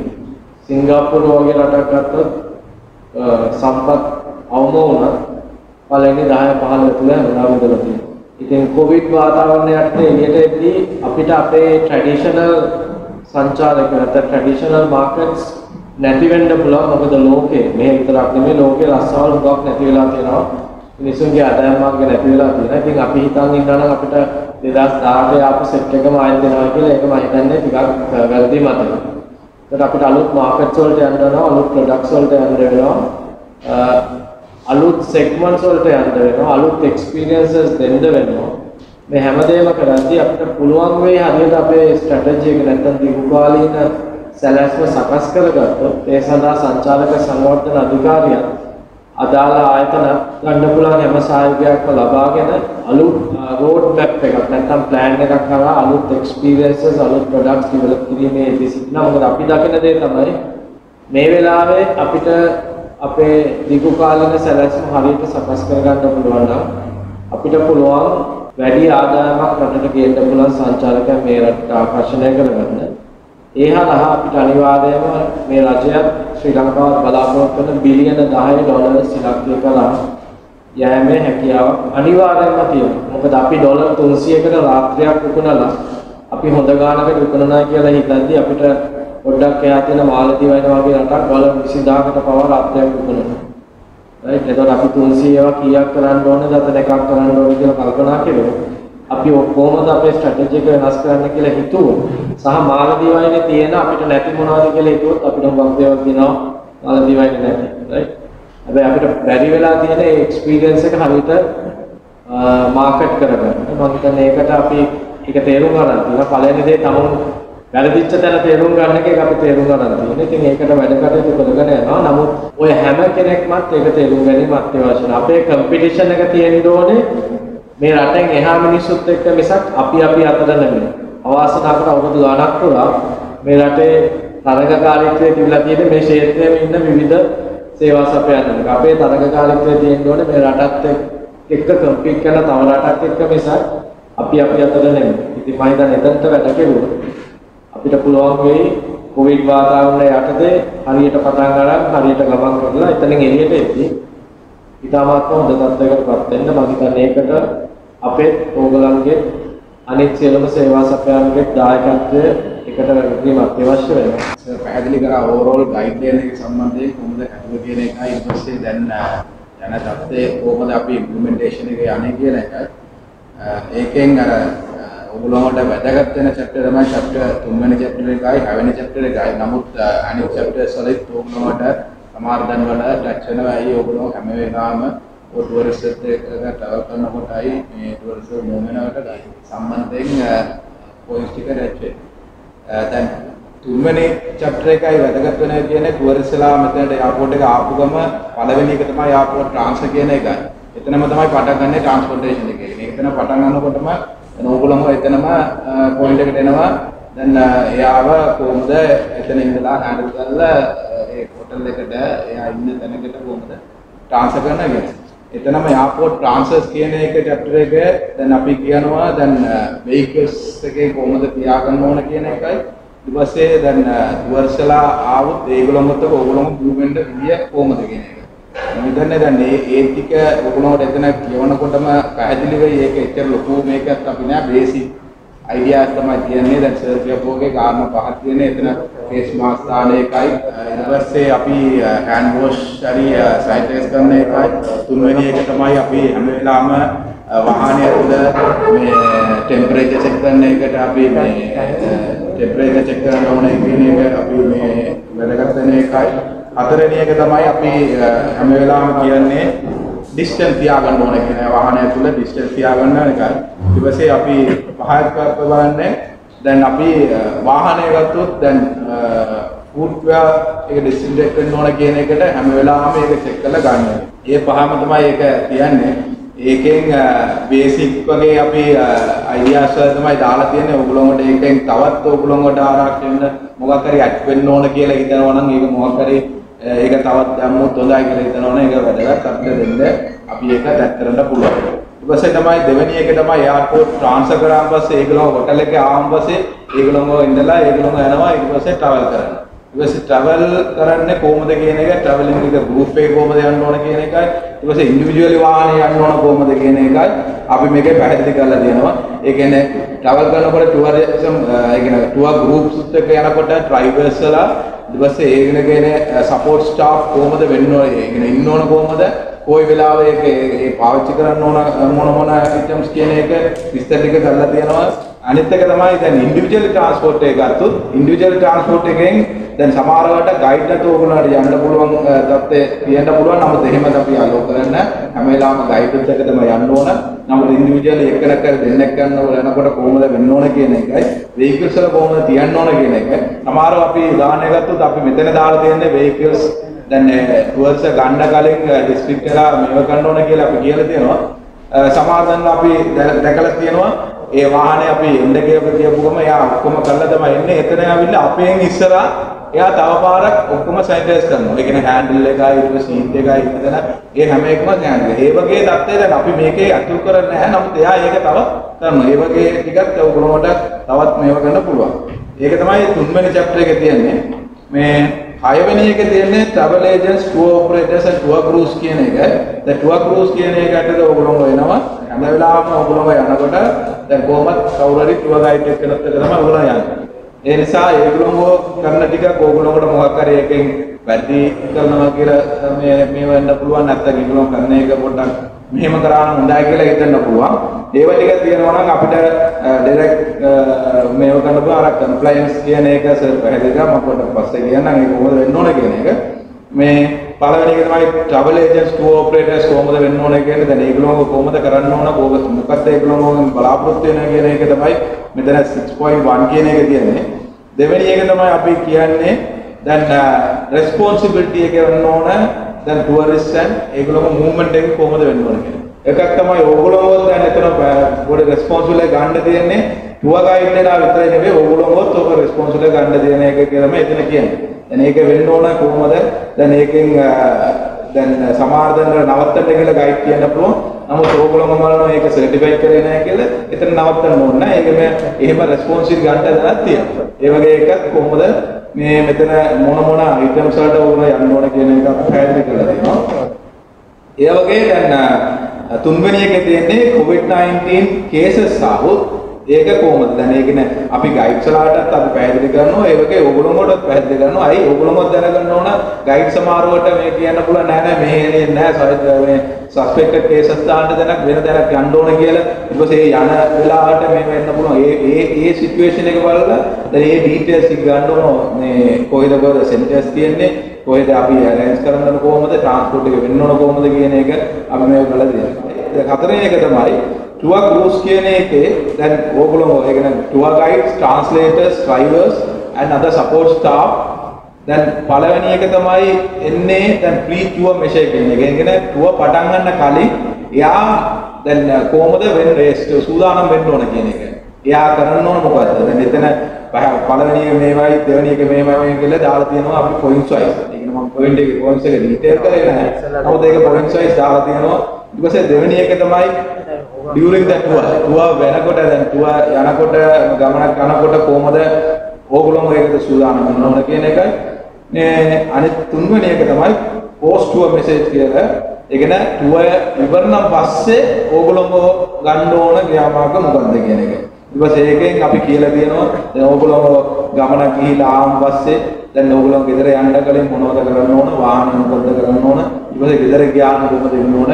ඒ ඒ සම්බන්ධයෙන් අපි පැහැදිලි කරලා දෙනවා. ඒ ටික තමයි මෙතන චැප්ටර්ස් වල තියෙන්නේ. දැන් මම හිතන්නේ ඕගොල්ලෝ කියවන්න නැති මේ කියන්න මේ ගයිඩ්ලයින් එක අයි ඕගොල්ලෝ මොබයිල් ඇප් එක තියෙනවා. අපි ජූනි 8 වෙනිදා මේ අප්ලෝඩ් කරපු එක ගයිඩ්ලයින්ස් එක මම හිතනවා ඕගොල්ලෝට සර්කියුලේට් කරන්න නැති ඔබ මේ මොබයිල් එකක සර්කියුලේට් කරන්න පුළුවන්. එහෙම නැති වුණොත් දැනුත් සර්කියුලේට් කරන්න පුළුවන් for information හැම එකකටම අපේ වෙබ්සයිට් එකේ තියෙනවා. ඒ කියන්නේ අපේ වෙබ්සයිට් SLTD වෙබ්සයිට් එකක් තියෙනවා. ඒ වගේ ශ්‍රී ලංකා ටුවරිසම් කියන වෙබ්සයිට් එකක් තියෙනවා. ඒක අපේ වෙබ්සයිට් එකෙන් certificate operational guidelines and health protocol කියන icon එකේ තමයි එතන තියෙන්නේ. PDF file එක තියෙන එක download කරන්න පුළුවන්.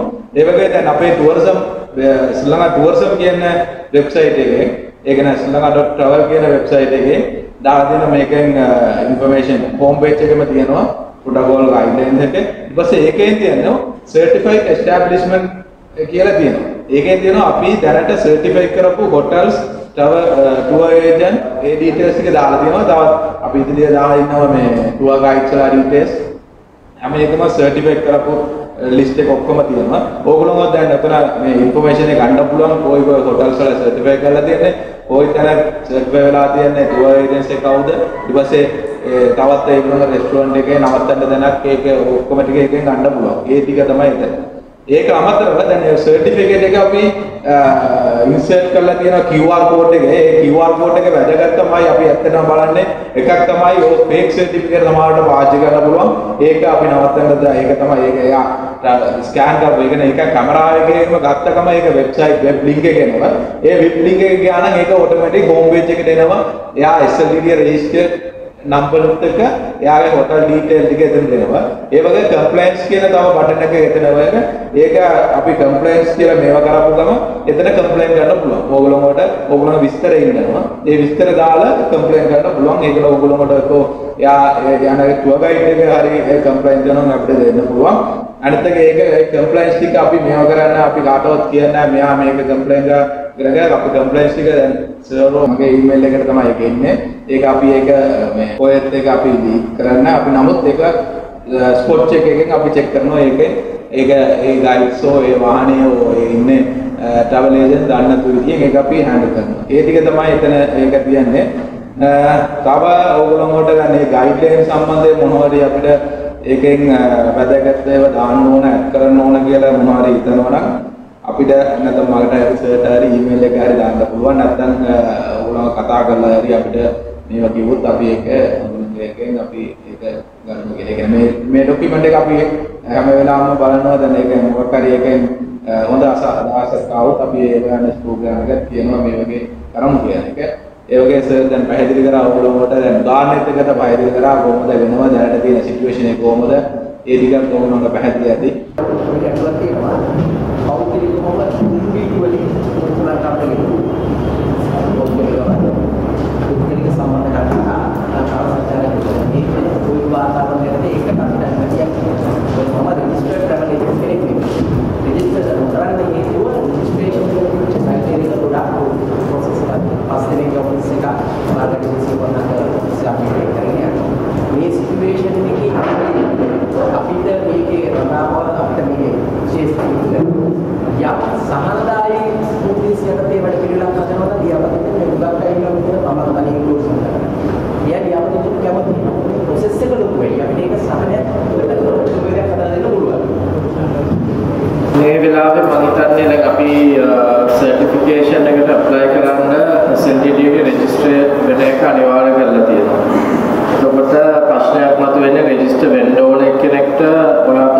කියපු විදිහට ඒකට යම් කාලයක් යනවා නම් මොකද්ද වෙන ප්‍රශ්නේ කියලා. ඉතින් මම හිතන්නේ ඔක තේරුම් ගන්න SLTD එකෙන් uh, රෙජිස්ට්‍රේෂන් process එක quality එක compromise නොවන විදිහට quality එක බාල නොවන විදිහට simplify කරලා තියෙනවා. මොකක් requirements uh, අත්‍යවශ්‍ය දේවල් වලට පමණක් සීමා කරලා ඒ වගේම provisional license එකක් මාස 6කට දෙන්න තත්ත්වයක් ඇති කරලා තියෙනවා සුළු මුදලකට.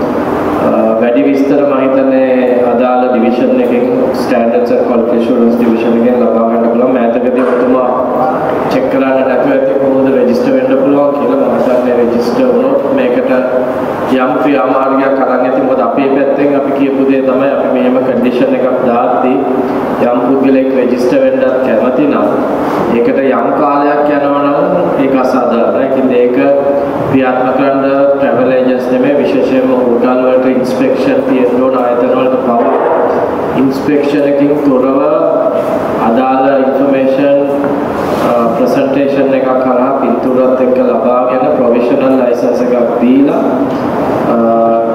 ඔබතුමා ඉදිරිපත් කළ කරුණු මත විශ්වාසය මත රඳා පවතිලා මාස 6කට අවස්ථාව දීලා ඒ මාස 6 ඇතුළත ඒගොල්ලන් ඉදිරියට ක්‍රියා කරන්න ප්‍රයෝගය හදලා තියෙනවා. ඉතින් මම හිතන්නේ මේ ප්‍රොසෙස් එක අහලා ඔබතුමාගේ ප්‍රශ්නෙට විසඳුමක් ලබා ගන්න පුළුවන් වෙයි පොඩ්ඩක් කතා කරලා බලන්න. ඒකේ පොඩි පොඩි අවස්ථාවක් දෙන්න. ඒකේ දැන් ඇවිල්ලා තියෙනවා මිනි ට්‍රැවල් ඩෙස්ක් කියන සිස්ටම් එක. ඒක අපේ ඉල්ලීම මත. ඒ කියන්නේ ලොකු රික්වයර්මන්ට් සුත් නැහැ. රික්වයර්මන්ට් හතරයි තියෙන්නේ. තමන්ගේ ගෙදර ඉඳලා තමන්ගේ ලැප් එක පාවිච්චි කරලා දැන් රෙජිස්ටර් කරන ක්‍රමවේදය ඇවිල්ලා තියෙනවා. කෝඩ් අප්‍රූවල් එකක් හම්බ වෙලා දැන් කරගෙන යනවා. එතකොට දැන් අර ඉස්සෙල්ලා තිබිච්ච ස්ටාෆ් ප්‍රශ්න කම්පියුටර් දෙක තුන දාන එක වර්ග අඩි 250 ඒ ඔක්කොම දැන් ස්ටොප් කරලා තියෙනවා. පැහැදිලිව එකයි මොකද මේ මේක අපෝ වෙලාවේ අපි අපි කර පිළිම තමයි යමෙක් කැමැත්තෙන් රෙජිස්ටර් වෙන්න යනවා නම් එතුමාගේ ගමන පාසු කරන්න වෙන පැනන එකට අවශ්‍ය ක්‍රියාමාර්ග එතකොට අනිත් එක මට චුට්ටි කාරණයක් තියෙනවා. ඔබතුමාලා මේ ගත්ත උත්සාහය ඇත්තටම හොඳ වැඩක්. මොකද ලංකාවේ අපි ජාතියක් හැටියට හැමතිස්සෙම සෞඛ්‍ය සිරිත් කියන එකට මුලට දුන්නේ නැහැ. ඒකේ ප්‍රතිඵල තමයි අද අපි අත්විඳින්න වෙලා තියෙන ගොඩක් වෙලාවට. ඒක නිසා මේ අනිවාර්යයෙන්ම සංචාරක ව්‍යාපාරයේ විදේශිකයොත් එක්ක ඇසුරු කරනකොට අනිවාර්යයෙන්ම මේ ගයිඩ්ලයින් දැනට මේ කොරෝනා පීරියඩ් එකේ පමණක් නෙමෙයි ඉදිරියේදීත් කරයි යනවා නම් හරි වටිනවා. මොකද හේතුක හේතුවක් තමයි සංචාරක රීදුරුතාව විතර ගොඩක් කියන්නේ. කියන්නේ ඉන්ඩිවිජුවල් ට්‍රැවල් මේ ටූරිස්ට්ලත් එක්ක කරන කට්ටිය තමයි අපේ ඉන්න 5700න් මම දැන් 5000කට වැඩි ප්‍රමාණයක්. එතකොට මෙතුමල්ලා හෝටල් එකට ගියාම මේ හෝටලේ පුදිය ගන්න ඩ්‍රයිවර් ක්වාටර්ස් එක සමහර වෙලාවට අපායක්. දැන් මේ තත්ත්වෙත් එක්ක මේ හෝටලේ ගියොත් දැන් මේ මේකෙත් ගැටලු තියෙනවා දැන් ඔය යන ඒකෙත් රියදුරන්ට දෙන්න දැන් මේ කාමරවල ප්‍රශ්න ගොඩාක් තියෙනවා. එතකොට මේ කොවිඩ් 19 කියන එක පැතිරීම ප්‍රවණතාවය වැඩි එක පොඩි කාමරයක ඇඳන් පහක් විතර දාලා රියදුරෝ පස් දෙනෙක් ඉන්නවා. වැඩි ඔව් මම කියන්නේ නිකන් ආදර්ශයක්. එතකොට ඒවත් පොඩ්ඩක් මොනිටර් කරන්න පුළුවන් නම් මේ කොවිඩ් ගයිඩ්ලයින් එකේ මේ යනාතරේ මොකද ඒක ඒකට අපි කොවිඩ් ගයිඩ්ලයින් එකේදී මේ හැම ක්‍රියාමාර්ගයක්ම පැහැදිලිවම ඇඩ්‍රස් කරලා තියෙන විශේෂම ඇකොමඩේෂන් සෙක්ටර් එකට කතා කරද්දී ඒගොල්ලන්ට අපි අ, පැහැදිලි කරපු දේ තමයි ඔබතුමන්ලා හිතනවා නම් මේක අයිසොලේෂන් අයිසොලේට් ඕගනයිසේෂන් එකක් හැටියට සංචාලකයා විතරක් ඇතුළට අරන් තමුන්ගේ සේවකයනෝ ඒ සංචාලකයන් ආයතනයට ගෙනෙන පාර්ශවනොත් වැඩි සැලකිල්ලක් නොදක්වා මේක ඉදිරියට යන්න පුළුවන් කියලා පළවෙනි දේ තමයි තමුන් තමුන්ටම රිස්ක් එකක් ඇති කරගන්න. ඉතින් අ, ඔතනදී අ, අපි ඒක ඇඩ්‍රස් කරලා තියෙනවා ඒ මට්ටමින් ඒ ඉල්ලීම කරලා තියෙනවා අපිට ඉල්ලීමක් කරන්න පුළුවන්. අ, ඒ වගේම අපේ ගයිඩ්ලයින් එකේ අපේ මොඩල් එකේ අපි ඉදිරිපත් කරපු යම් යම් කොන්දේසි එක්ක අ, පහසුකම් වැඩි කරනවා ගමන්ම එක කාමරයක 6 5ක් 6ක් 7ක් දැමීමේ ප්‍රවණතාවය එහෙම දාන්න උවමනක් තිබුණත් හැකියාව අවම වෙන්න පුළුවන්. මොකද අපි කියලා තියෙන්නේ හෝටල් එක සාමාන්‍යයෙන් 150ක් විතරයි ඔපරේට් වෙන්න පුළුවන් කියලා මේ වාතාවරණය යටතේ එක. දෙක අපි කියලා තියෙනවා ස්ටාෆ් අනිවාර්යයෙන්ම මික්ස් කරන්න එපා මොකද බැරි වෙලා රෝගියෙක් මතුවුනොත් ඒ ස්ටාෆ් එක පොඩ්ඩකට අයින් කරලා අනිත් ස්ටාෆ් එකත් එක්ක දීීමේ හැකියාව හෝටල් එකේ තියෙන විදිහට ස්ටාෆ් ඇලොකේට් කරන්න ඕනේ කියන එකයි. ඒ වගේම යථාර්ථය තමයි අපි ටූරිසම් එකට පටන් ගත්තොත් අපිට අ, දැන් ස- සේවා සපයන්නට තිබිච්ච ලොකු ගැටලුවක් තමයි 150ක් කරන් අපි කොහොමද දුවන්නේ කියලා. ඉතින් එතනදී ඔවුන් උත්සාහ කරන්න ඕනේ තමුන්ගේ මොඩල් එක වෙනස් කරලා සේවාව පොඩ්ඩක් කියලා නංගලා විකුණන ප්‍රමාණය ටිකක් වැඩි කරලා තමුන්ගේ ආදායම මාර්ග සරි කරගන්න. ඒ වගේම ඇත්තටම 150ක් මුලට හැම හොටල් එකම එයිද කියන ප්‍රශ්නය තියෙනවා ඉනිෂියල්. එතකොට අපිට යම් ලර්නින් කර්ව් එකක් එනවා. ඒ පීරියඩ් එකේ අපි අනිවාර්යයෙන්ම ඉඳලා ඉතලා තියෙනවා කොවිඩ් වාතාවරණය යටතේ ඔය කියන ආකාරයට රියදුරු මාතෘන් හෝ තමුන්ගේ සේවකයන් හෝටල්ස් වල රටවන්න බෑ කියන එක. තවත් ඔය එහා ගිය ප්‍රශ්නයක් තියෙනවා සමාජ සේවා සපයන්නන් රියදුරු මාතෘන්ට ඇතුලේ නවත්තන පාසුකම් සපයන්නේ නැහැ. ඒගොල්ලෝ එළියට ගිහිල්ලා තමයි කොහේ හරි නවතින්න ඕනේ. එතකොට එතනදී ඊට වැඩි ලොකු රිස්ක් එකක් තියෙනවා කොහේ ඉන්නවද කියලා හෝටලේ දන්නේ නැහැ. ඉතින් ඔය ප්‍රශ්න තුනම අපි ඇඩ්‍රස් කරලා තියෙන්නේ. ඕක ඒ විදිහට වෙන්නේ නැත්නම් ඔබතුමාලාගෙන් අපි බලාපොරොත්තු වෙනවා මේ පොඩ්ඩක් අපිව දැනුවත් කරන්න කොහෙද වෙන්නේ කියලා. අපිට නීතියක් හැටියට දාන්න බැරි වුණත් අපිට ඉල්ලීමක් හැටියට මේ වෙලාවේ කරන්න පුළුවන්. මම ඒක තමයි කිව්වේ අපි මේ වෙලාවේ සර්විස් එක ක්වොලිටි එක ඉහළ ගන්න දාගන්න ඕනේ මේ හම්බෙච්ච අවස්ථාවත් එක්ක. අනිත් එක තව පොඩි ගැටලුවක් තියෙනවා. දැන් ලංකාවේ දැන් සංචාරක ව්‍යාපාරීන්ගේ ප්‍රධානම කට්ටිය දැන් මම හඳුන්වන විදිහට සංචාරක රීදුරා තමයි නිලනුවත් ඇම්බැසිඩර් හැටියට තමයි අපි කියාගන්නේ. රටට ඇතුල් වෙනකොට සංචාරකයෙක්ට දවස් ගාණක් ගත කරන්න එතුමා.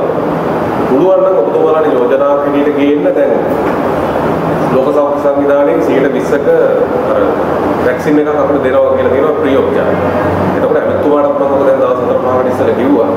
ඒක මේ සංචාරක ව්‍යාපාරයේ ඉන්න රියදුරෝ ගයිඩ්ස්ලාට මේ මූලිකව ඒ ටික ලබා දෙන්න පුළුවන් නම් එන්නත් ටික එතකොට ලොකු පිටුවහලක් එනවා මේක එතනින් එහාට තමන්ගේ පවුලට සමාජයට යන්න තියෙන.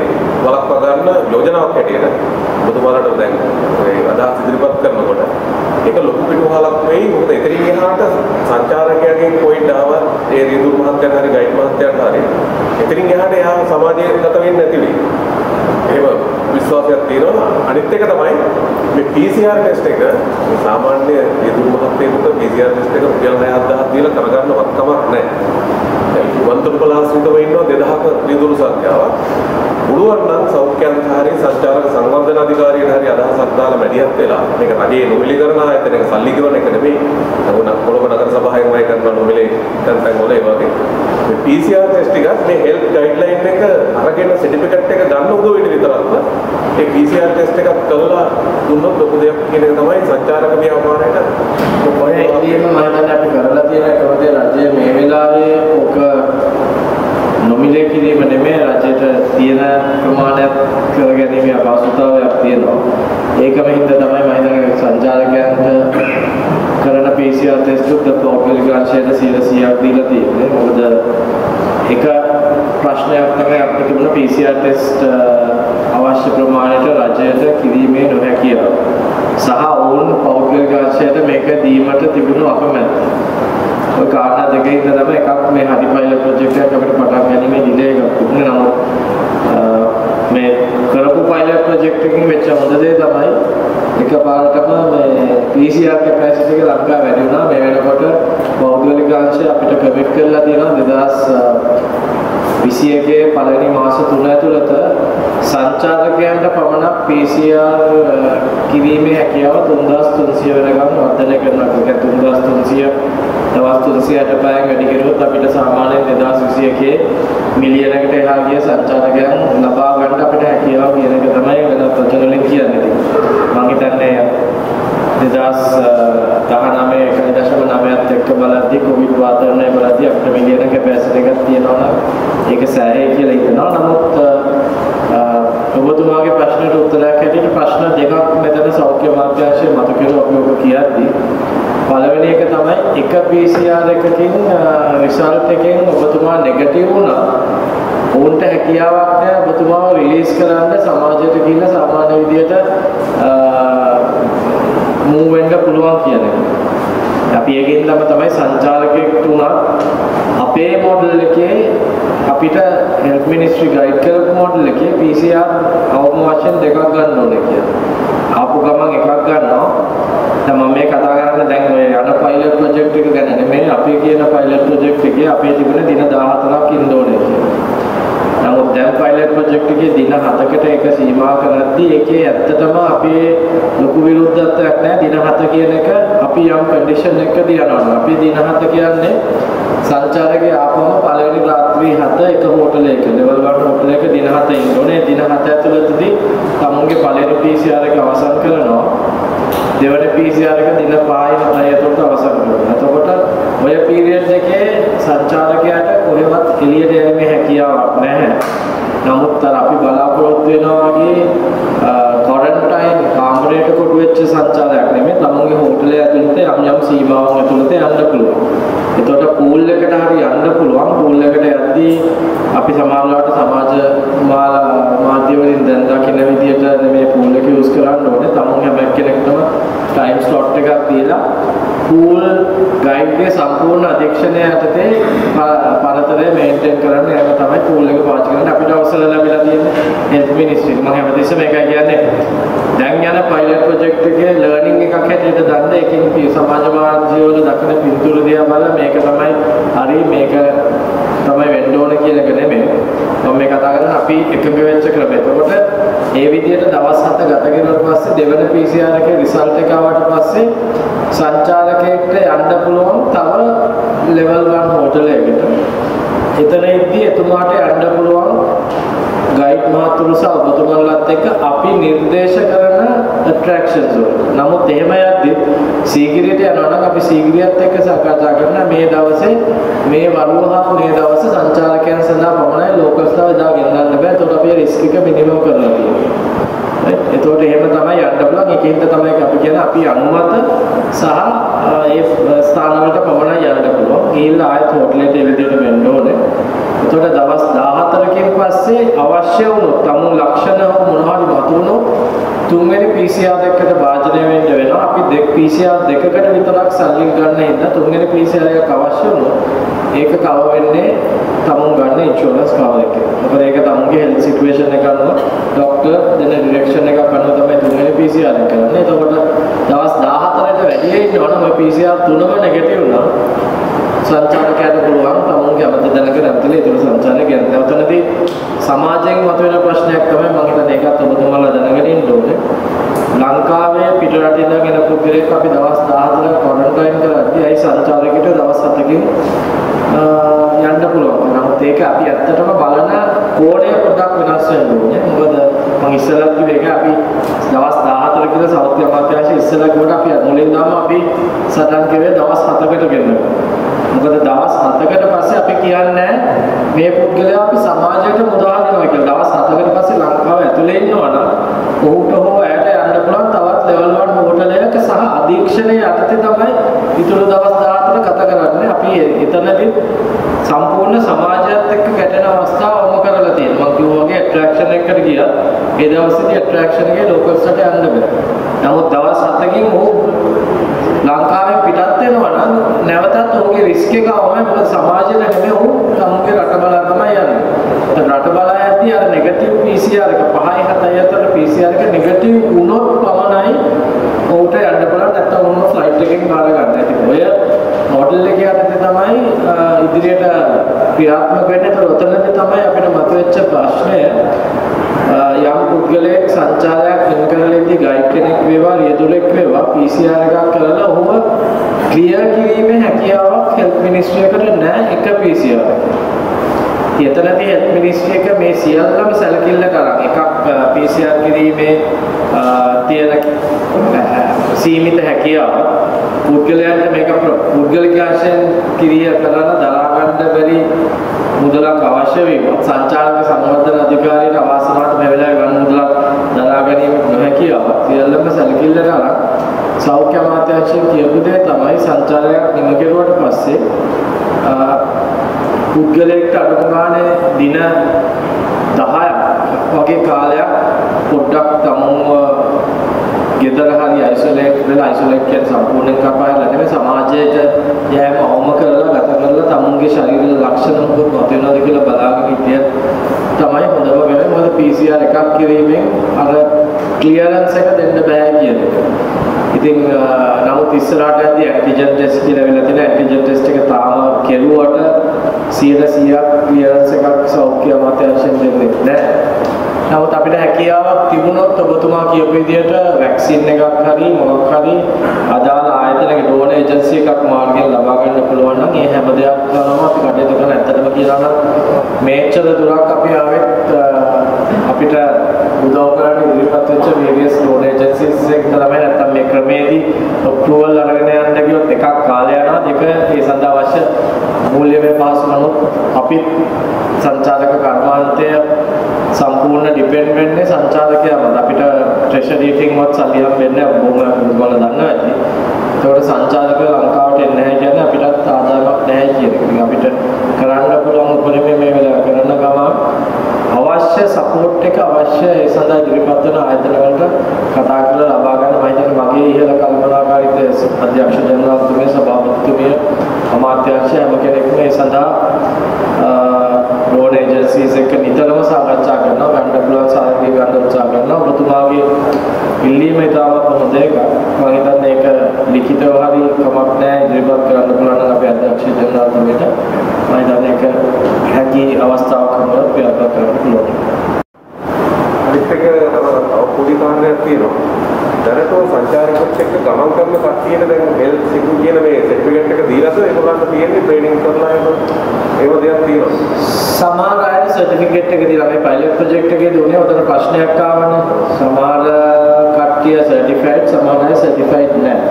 රයිට්? එතකොට ඔබතුමාලා දකින්නත් ඇති ආ ඔය ඔබතුමා ඉස්සෙල්ලා කිව්වා වගේ ගයිඩ්ලයින් දෙක තුනක් ආව කතන්දරයක් වුණා. එක ගයිඩ්ලයින් එක කිව්වා it can be either SLTDA certified or service providers cleared by the Ministry of Health. right? ඒ සෞඛ්‍ය අමාත්‍යාංශයෙන් ක්ලියර් කරපු සේවා සපයන. ඉතින් මම දන්නේ සෞඛ්‍ය අමාත්‍යාංශයේ මොන පදනමේ ඉඳන්ද ක්ලියර් කරන්න කියන එක මම දන්නේ නැහැ. නමුත් මේක සෞඛ්‍යමය ප්‍රශ්නයක් ඉඳ අවසාන තීරණය තියෙන්නේ තුමන්ලාගේ අතේ. right? මොකද ඒකෙන්ද අපිට ඒක හරිද වැරදිද කියන්න දන්නේ නැහැ. නමුත් මේ පදනමේ නම් සේවා සපයන කීප දෙනෙකුට වත්සේ ඉන්නවා. ඒකට ඒක ඉදිරියට ගෙනියන්න පුළුවන් දෙයක් අපිට එතකොට ඒ දැනුවත් කිරීම මට පැහැදිලි නැහැ ප්‍රශ්නේ. අපි අර ඉස්සෙල්ලා මුලින්ම මම ආම්බුලන්ස් කතා කරා වගේ දැන් මේක අපි අර වීඩියෝ එකක් ඔව් හදලා මේමයි අපි ඒක වීඩියෝ එක හදලා මෙතුමා කිව්වා වගේ වීඩියෝ එක අපි ඔයගොල්ලන්ගේ ඇප් එක හරහා මේවා කරලා අපි පොඩ්ඩක් Google Forms වල මොකක් හරි පොඩි ඉවැලුවේෂන් එකක් මේක වැලුවා කියලා ඒක තමයි මගේ ඒක වැලියු එකක් තියෙන්න ඕන. නැත්නම් නිකම්ම දුන්නොත් දෙන්න වැඩක් නැහැ. අපි ඒක පිළිබඳව මොකක් හරි ක්‍රියාත්මක කරනවා ඔව් මේක ලං කරනවා ඒ වගේම අපිට තරම් පුළුවන් දිනේ හරියටම නිර්ණය කරලා නැහැ. ඒ අපිට විසඳ කරන්න දෙපාගෙම එතකොට මේ මාර්ගය තුළ බොහෝ දුරට හැමෝටම ඔපන්නේ ලංකාවේ ඔර කෙනෙකුට ගෙන්න ගන්න පුළුවන් වෙන හැබැයි සංචාරක සංවර්ධන අධිකාරිය යම් කිසි බලපත්‍ර ලාභියෙක් වෙන්න ඕනේ එන ගෙස්ස හැමෝටම. දැන් අපි එතන තමයි අදටත් ඉන්නේ අපි ඒකෙන් නම් තමයි මේ මේ ප්‍රෝග්‍රෑම් එක ආපත් ක්‍රියාත්මක වෙන්නේ මොකද ඇත්තටම ඔබතුමා අහපු ප්‍රශ්නයි සියල්ල මොකද මෙතන මේ අපි යථාර්ථයත් එක්ක යන්නේ ඔබතුමා අහුවා මේ සාහිත්‍ය සතුට මේ කෙනෙක්ම සර්ටිෆයිඩ් කියලා. පයිලට් ප්‍රොජෙක්ට් එකේ නැහැ නමුත් අපි අදින්නේ මුළු සියලු ඕනම කෙනෙක්ට මේක ආරම්භ කළොත් අපි අර අපේ ගයිඩ්ලයින් එකේ මතයක තමයි ඉන්නේ. නෑ මොකද ඒ මම මේක ඇහුවේ දැන් ගොඩක් දුරට ඒ ගැන දැනුවත් වෙලා තිබ්බම සෆාරි ජිප් ඩ්‍රයිවර්ස් වෙන එකක් තිබුණා නේද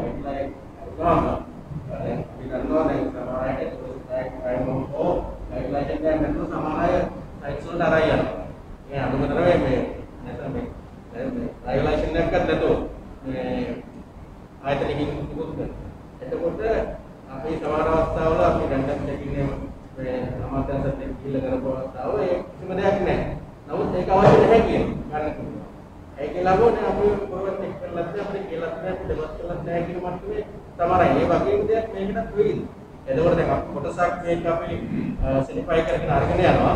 තව කොටසක් අර වගේ කරාට අපි ඉන්පුට් ගෙන්නගෙන පාර්ලිමේන්තු වැඩේ කරා යනවා. එහෙමයි. එතනදී අපි මේ කතා කරන්නේ මේ ගයිඩ්ලයින් එකයි. සියලු දේම ඇත්තටම අදාළ වෙන්නේ මේ කොවිඩ් වාතාවරණය යටතේදී right ඉතින් මෙතනදී අපි මේක ෆවුන්ඩේෂන් එක හදාගෙන මේකේ කොහොමද ඉස්සරහට යන්න කියන එකයි බලන්නේ. මෙතනදී අපි ගත්ත ක්‍රියාමාර්ග දෙකක් තිබුණා එකක් සර්ටිෆිකේෂන් එක ගන්න බෑ කියලා අපේ රෙජිස්ටර් වෙන්නේ නැතුව එතනදී අපි ඔබතුමාගේ ප්‍රශ්නයකට යම් උත්තරයක් දෙන්න තමයි උත්සාහ කළේ ඒකනදී රෙජිස්ටර් වෙන්න උදව් උත්සාහ කරනවා නම් ඒ රෙජිස්ට්‍රේෂන් ප්‍රොසෙස් එක මෙතුමා කියපු විදිහට මොකක් සිම්ප්ලිෆයි කරලා මේගොල්ලන්ගේ මැදිහත් වීම සහ අදහස් ලබාගෙන මොකද අපේ SLT එක හුඟක් ෆ්ලෙක්සිබල් නෑ. සමහරවිට හරියම පරණ නීතියෙම එලිලා ඉන්නවා. නමුත් දැන් අපි එතනින් හුඟක් එළියට ඇවිල්ලා ඔයගොල්ලන්ගේ පැත්තෙන් හිතන්න? දෙන්න මොකද ඔයා මෙතන රෙජිස්ටර් වෙන්නේදී අපි කියනවා නම් මේක රෙජිස්ටර් වෙන්න බෑ කියලා. එතන ඔයා කරන්න අර රෙජිස්ටර් වෙන්න පුළුවන් දැනක රෙජිස්ටර් වෙලා වැඩේ කරගෙන ඊට පස්සේ අපි කියලා වැඩක් නෑ ඔයා අදාළ සේවය සපයන්නේ නැහැ. ඉතින් ඒකට ක්‍රියාත්මක වෙන ගමන් දැන් අපි මෙතනදී මේ වාතාවරණය යටතේදී අපි දාලා තියෙනවා යම් යම් චෙක්ස් මම ඉස්සෙල්ලා විස්තර කරුවා වගේ. සර්ටිෆිකේට් එකේ පටන් ප්‍රාදේශීය නිලධාරීන්ගේ පටන් ආරක්ෂක නිලධාරීන් පටන්. හැබැයි ඒ සියල්ලම ක්‍රියාත්මක වෙන්නේ නැහැ කියලා ඔබතුමා හිතනවා නම් ඔබතුමාට කියනනම් මෙන්න මේ වාහනය මෙන්න මේ වාහනය නැතුව මෙතනදී ගියයි කියලා කරුණාකරලා අපිට දැනුම් දෙන්න මොකද අවසානයේදී සෞඛ්‍ය අමාත්‍යාංශයෙන් කියපු දේ තමයි අපිට මෙතන මොකක් හරි වුණොත් කවුද වගකීම ගන්න. වගකීම ගන්න ආයතනයක් අපිට තියෙනවා. අදටත් ඔය පයිලට් ප්‍රොජෙක්ට් එකේ ක්‍රියාත්මක කරන්නේ යම් යම් තැන්වලදී responsibility SLTDA කියලා දාලා තමයි සෞඛ්‍ය අමාත්‍යාංශයෙන් ડોකියුමන්ට් එක ඉෂුව කරන්නේ. ඒතර එතනදී ඒ responsibility අපිට ගන්න බැරි. තැන්වලදී සෞඛ්‍ය අමාත්‍යාංශය අපිට දාලා තියෙන්නේ අපි නඩුලා ගන්න තැන්වලදී අපේ පැත්තෙන් මේ වෙනකොටත් අපි ඩේලි රිපෝට් කරලා මේක අපිට ගන්න බෑ මේක අපිට ඇක්සස් එකක් නැහැ මේක අපිට කන්ට්‍රෝල් එකක් නැහැ කියන එක අපි පැහැදිලිව දන්වලා තියෙනවා. හැබැයි අපි ඉන්නේ මතේ හරි අපේ ප්‍රශ්නයක් නෙමෙයි ඒකින්ද ප්‍රශ්නයක් නැහැ තව කවුරු ගත්තා කියන මතේ නෙමෙයි අපි ඉන්නේ. ඒක වරදවා තේරුම් ගන්න එපා. මොකද ටූරිසම් එක කවුරු ගණනලා ගෙවුවත් වැරදුනොත් ඒකේ බලපෑමෙන් නේ අපිට ඒකින්ද තමයි අපි මේ මගේ ඉන්න ටීම් එකත් රිස්ක් එකක ඉන්නේ. පළවෙනි දවසේ අතන පැනික් වෙද්දී එතනින් ඔයගොල්ලෝ දන්නවනේ සමහර හොටල් වලින් කොවිඩ් පේෂන්ට්ස්ලා මතුවන. ඒතකොට මගේ ටීම් එක එතන හිටියා. ඒ පුද්ගලයන් හය දෙනා මම අද වෙනකොට ඔෆිස් එකට ගෙනල්ලා අද තමයි ඒගොල්ලෝ PCR එකට භාජනය වෙන්නේ. ඊට පස්සේ තව දවස් තුනක් කියලා දෙවෙනි PCR එකට භාජනය වෙලා ඒ වුණොත් තමයි අපි ඒක ඔෆිස් එකට ගෙන්නන්න පුළුවන්. ඉතින් එහෙම තත්ත්වයක් තියෙද්දී අපි අනිවාර්යයෙන්ම බලාපොරොත්තු වෙන ඔබතුමන්ලාගෙන් කවුරු හරි වයලේට් කරනවා. ඒක තමයි මම හිතන්නේ මෙතුමා කිව්වේ. ඔයාගේ සර්ටිෆයිඩ් ගයිඩ් එකක්ද ගයිඩ් කියනවා නම් ඔයා නොකළ යුතු දෙයක් කරන්න කියලා. ඒක මේ සමහර වෙලාවට ඔබතුමාට ඒ වෙලාවේ මුකුත්ම කරගන්න බැහැ නම් අඩු ගන්න අපිට රිපෝට් කරන්න හරි සිද්ධ වෙනවා. එකක් තමයි රිපෝට් කිරිල්ල වෙන්න ඕනේ අවසාන ක්‍රියාව. ඉස්සෙල්ලා වෙන්න ඕනේ ඔබ කන්වින්ස් කරලා මේක නොකර කොහොමද ඉදිරියට යන්නේ ආරක්ෂා කාර්යවල ක්‍රියාත්මක වෙන එක. එහෙම බැරිම වුණොත් ඊළඟ ක්‍රියාමාර්ගයට යන්න වෙනවා. මොකද අපිට ඇක්ෂන් එකක් ගත්තාම අපි ඒක කරන්නේ ප්‍රතිචාර දැක්වීම. ප්‍රතිචාර දක්වද්දී වෙන්න ඕන හානිය වෙලා ඉවරයි. right? අපි අර රියැක්ටිව් නෙවෙයි ප්‍රෝඇක්ටිව් අප්‍රෝච් එකකට යන්න ඕනේ. කියන්නේ කවුරු හරි වැරද්දක් වෙනවා කියලා දකිනවනම් ඒක ඒ වෙලාවේ නිවැරදි කරන්න උත්සාහ කරන්න. ඒක තමයි පළවෙනි එහෙම බැරි වුණොත් තමයි කම්ප්ලේන්ට් කරන්න වෙන්නේ. එතනදී අපි සමහර වෙලාවට පරක්කු වැඩි වෙන්න පුළුවන්. හැබැයි ඔබතුමාගේ ප්‍රශ්නට උත්තරයක් දෙනවා නම් අපේ පැත්තෙන් අපි දාන්න පුළුවන් වහන්න පුළුවන් හැම හිඩසක්ම වහන්න උත්සාහ කරලා තියෙනවා. හැබැයි හිඩස් ඒත් ඕන තරම් තියෙන්න පුළුවන්. ඔබතුමන්ලාගේ සහයෝගයත් අපි බලාපොරොත්තු වෙනවා. හිඩස් තියනවා නම් වහන්න. මොකද මම ඉස්සෙල්ලා කිව්වා වගේ මේක අපේ දෙයක් නෙමෙයි අපේ පැත්තේ අඩුපාඩු ඇති ඔබතුමන්ලාගේ පැත්තේ අඩුපාඩු ඇති හැම පැත්තෙම අඩුපාඩු ඇති ඒ අඩුපාඩු එකට එකතු කරලා හදාගෙන අපි ඉස්සරහට යන්න ඕනේ. ඒක වෙන්නේ නැහැ සයිකෝඩ් එකේ යන තැන් වල පොලිස් පොලිසිය මාර්ගයෙන් එක්තරාකාරී ආරක්ෂා දෙන්න කරනවා කියන්නේ. ඒක බැලුවා නම් ගොඩක් වෙලාවට ඒ කියන්නේ සර්ටිෆයිඩ් නැති පුද්ගලයෙක් ඩ්‍රයිවර් හෝ සයිකෝඩ් කවුරු හරි ඔකට ඒ නිකම්ම වැලකෙනවා. ඔබතුමා කියන්නේ මේ කොවිඩ් වලට ඉස්සෙල්ලා තත්ත්වනේ. ඔව් මේක තමයි මම හිතන්නේ ඒක ඉස්සෙල්ලා ඇත්තටම 100%ක් වුණා කියලා මමත් හිතන්නේ නැහැ. නමුත් මේ වාතාවරණයක් ඇත්තේ පොලිස් නිලධාරීන්ට හරි අමතර වගකීමක් තියෙනවා. මොකද කොවිඩ් තත්ත්වය උඩ මොකක් හරි ලෙඩක් මතුනොත් ඔහු එතන ඉන්නවනම් ඌ ඒක බලලා නැත්නම් සාමාන්‍ය තත් සාමාන්‍ය තත්ත්වෙදී ගයිඩ් කෙනෙක් ලයිසන්ස් එකක් නැතුව ගියයි කිව්වට ඒක මේ ලෙඩක් පැතිරීමේ අවදානමක් එතන නැහැ. ඒකට ආයෙත් අහුවීමේ අවදානමකුත් නැහැ. නමුත් මේ වෙලාවේ එහෙම දෙයක් තියෙනවා. අපි ටූරිස්ට් පොලිස් දාලා තියෙන හැබැයි ඔබතුමාලා දන්න විදිහට ටූරිස්ට් පොලිස් එක සෑහෙන්න ටිකක් ප්‍රතිසංවිධානය කරලා DIG මහත්තයෙක්ව අපිට දීලා ශක්තිමත් කරලා තියෙනවා. මම හිතන්නේ ඉස්සරහට යද්දී මේ පහුගිය වැඩිත් එක්ක අපිට හදාගන්න ඉස්සරහට යන්න පුළුවන්. හැබැයි එතනදී ඔබතුමාලාගේ සහයෝගය අපි බලාපොරොත්තු වෙන සහයෝගයේදී මම ඉල්ලා සිටින්නේ එක මේ පුද්ගලික අපහසුතාවද දැනීම මේ කර්මාන්තය ආරක්ෂා කිරීමේ මූලික පරමාර්ථය පමණක් පෙරදැරි කරගෙන ඕනම දෙයක් කරන්න කියලා. උදාහරණයක් ඇටියට මම හැමතිස්සෙම මේගොල්ලන්ට කියන්නේ මගේ වැරද්දක් තියෙනවා නම් ඇවිල්ලා මාත් එක්ක ඉස්සලා කියන්නේ. මම කැමති නැත්නම් ඒක වැරද්දක් ඇටියට පිළිගන්න ඊළඟට යන්න ඕනේ මගේ බොස් ඒ කියන්නේ ඩිරෙක්ටර් ජනරල්. නැතෝ මගේ වැරද්ද කියලා වත් එක්ක කියලා මට වැඩකුත් නැහැ යාට වැඩකුත් නැහැ. ඒ වගේ අපේ හරි දුර්වලකමක් හරි අත්වාදයක් හරි තියෙනවා. අපි හැමතිස්සෙම විරුක්තයි සාකච්ඡා කරලා ඒක හදා ගන්නවා. හදාගන්න බැරි කිව්වොත් බලමු මොකද කියලා. ඒක තමයි අපි එකට එකතු වෙලා යනවා කියන්නේ මම දැන් දුර්වලකම් නැති වැරදි නැති වරදක් බවක් නැහැ.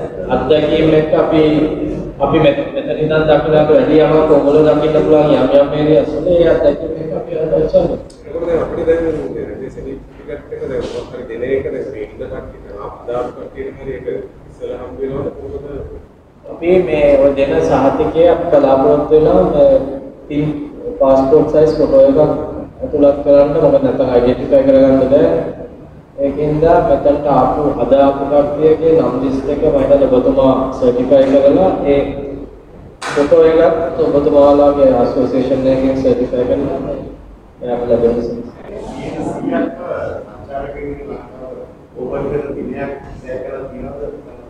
එහෙම ඒ ඒ තීරණය ගන්න අපි නෙමෙයි සෞඛ්‍ය අමාත්‍යාංශය. අපේ පැත්තෙන් අපිට කියන්න පුළුවන් අපි කොච්චර ලෑස්තිද කියලා.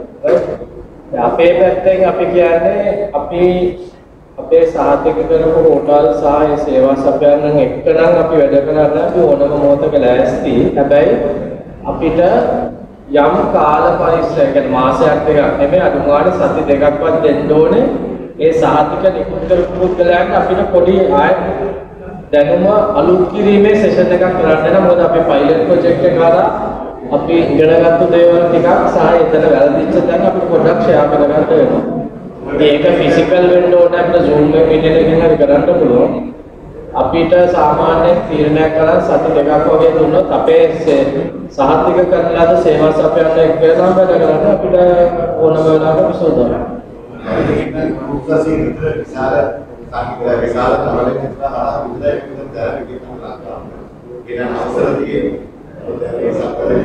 එහෙමයි අපේ ගයිඩ්ලයින් එකේ ට්‍රැවල් ඒජන්සි එකක් අත්‍යවශ්‍ය කියන මතය අපි ඉදිරිපත් කළා නේනවා සංචාරකයෙක් හැටියට ඔබතුමා දවස් 14කට එනවා නම් අපේ සර්ටිෆයිඩ් හෝටල් දෙකක නම් ඉන්න බලාපොරොත්තු වෙන්නේ හෝටල් දෙකකට බුකින්ග්ස් දාලා තියෙනවා නම් එයා අපි හෝටලේ වගකීම තමයි සර්ටිෆයිඩ් ඩ්‍රයිවර් කෙනෙකුව ගයිඩ් කෙනෙකුව බුක් කරගන්න.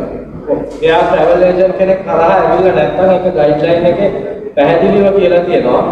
ට්‍රැවල් ඒජන්ට් හරි කෙනෙක් කරා එන්නේ නැති සංචාරකෙක් ඩිරෙක්ට් හෝටල් බුකින් එකක් දෙනවා. හෝටලේ වගකීම තමයි සංචාරකයාගේ රට තුල ගමනාව ගමනය හරියට කල්පනා කරන්න. සංචාරකයන් ගයිඩ් රික්වෙස්ට් කරන්නේ පුළුවන්.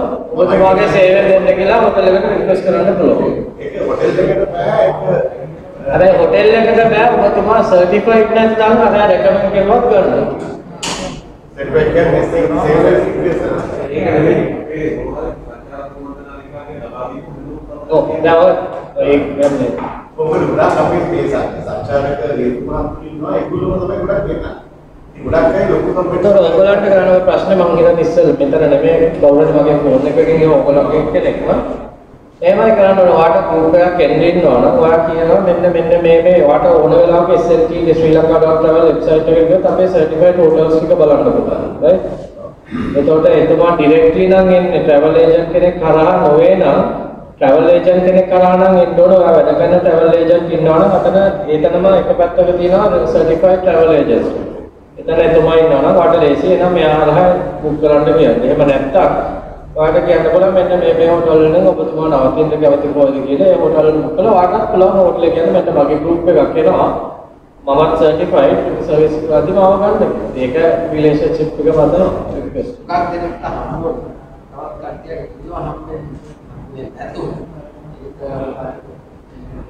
ඒක අනිවාර්යයෙන්ම මේ හැන්ඩල් කරන්න මම හිතන අදාළ ඩිවිෂන් එකෙන් නමුත් මම දන්න විදිහට අපේ ඒකට සුදුසුවන් කියන පුද්ගලයෙක්ම අදාළ මුදල් වෙන් කරලා තියෙනවා. එතකොට හම්බෙච්ච නැති කෙනෙක් ඉන්නවා නම් ඒක අමාත්‍ය ගියොත් ලැබෙන්න යා කටයුතු කරයි අදාළ අංශය විසින්.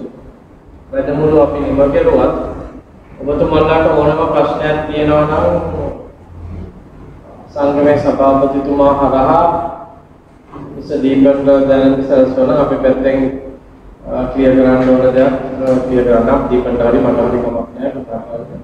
මගේ අවසාන වශයෙන් ඉල්ලීමක් අර කාරණා පහ මම හිතන්නේ මතක ඇති.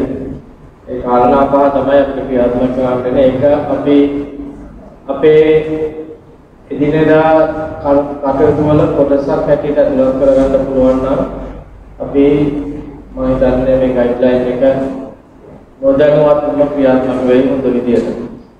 පුළුවන් නම් ඔබතුමාලගේ ගයිඩ්ලයින් එක සිංහලට පරිවර්තනය කරලා දෙන්න. අපි මේ ෆයිල් එකක් විදිහට හදලා අපේ සියලුම සමාජිකයන්ට මම දැන් මෙතුමාට කිව්වා ගිය පාර මේක chapter 3යි 6යි හැකි ඉක්මනින් පරිවර්තනය කරන්න. ඊට පස්සේ මුළු ගයිඩ්ලයින් එකම සිංහලට පරිවර්තනය කරන්න. Chapter 3යි බලන්න එක සම මේ අපි මේ ෆයිල් එකක් විදිහට හදලා හැමෝටම එහෙම නැත්නම් ඔයාලා PDF එකේ ඔයාලා ඇප්ලිකේෂන් ගන්න පුළුවන්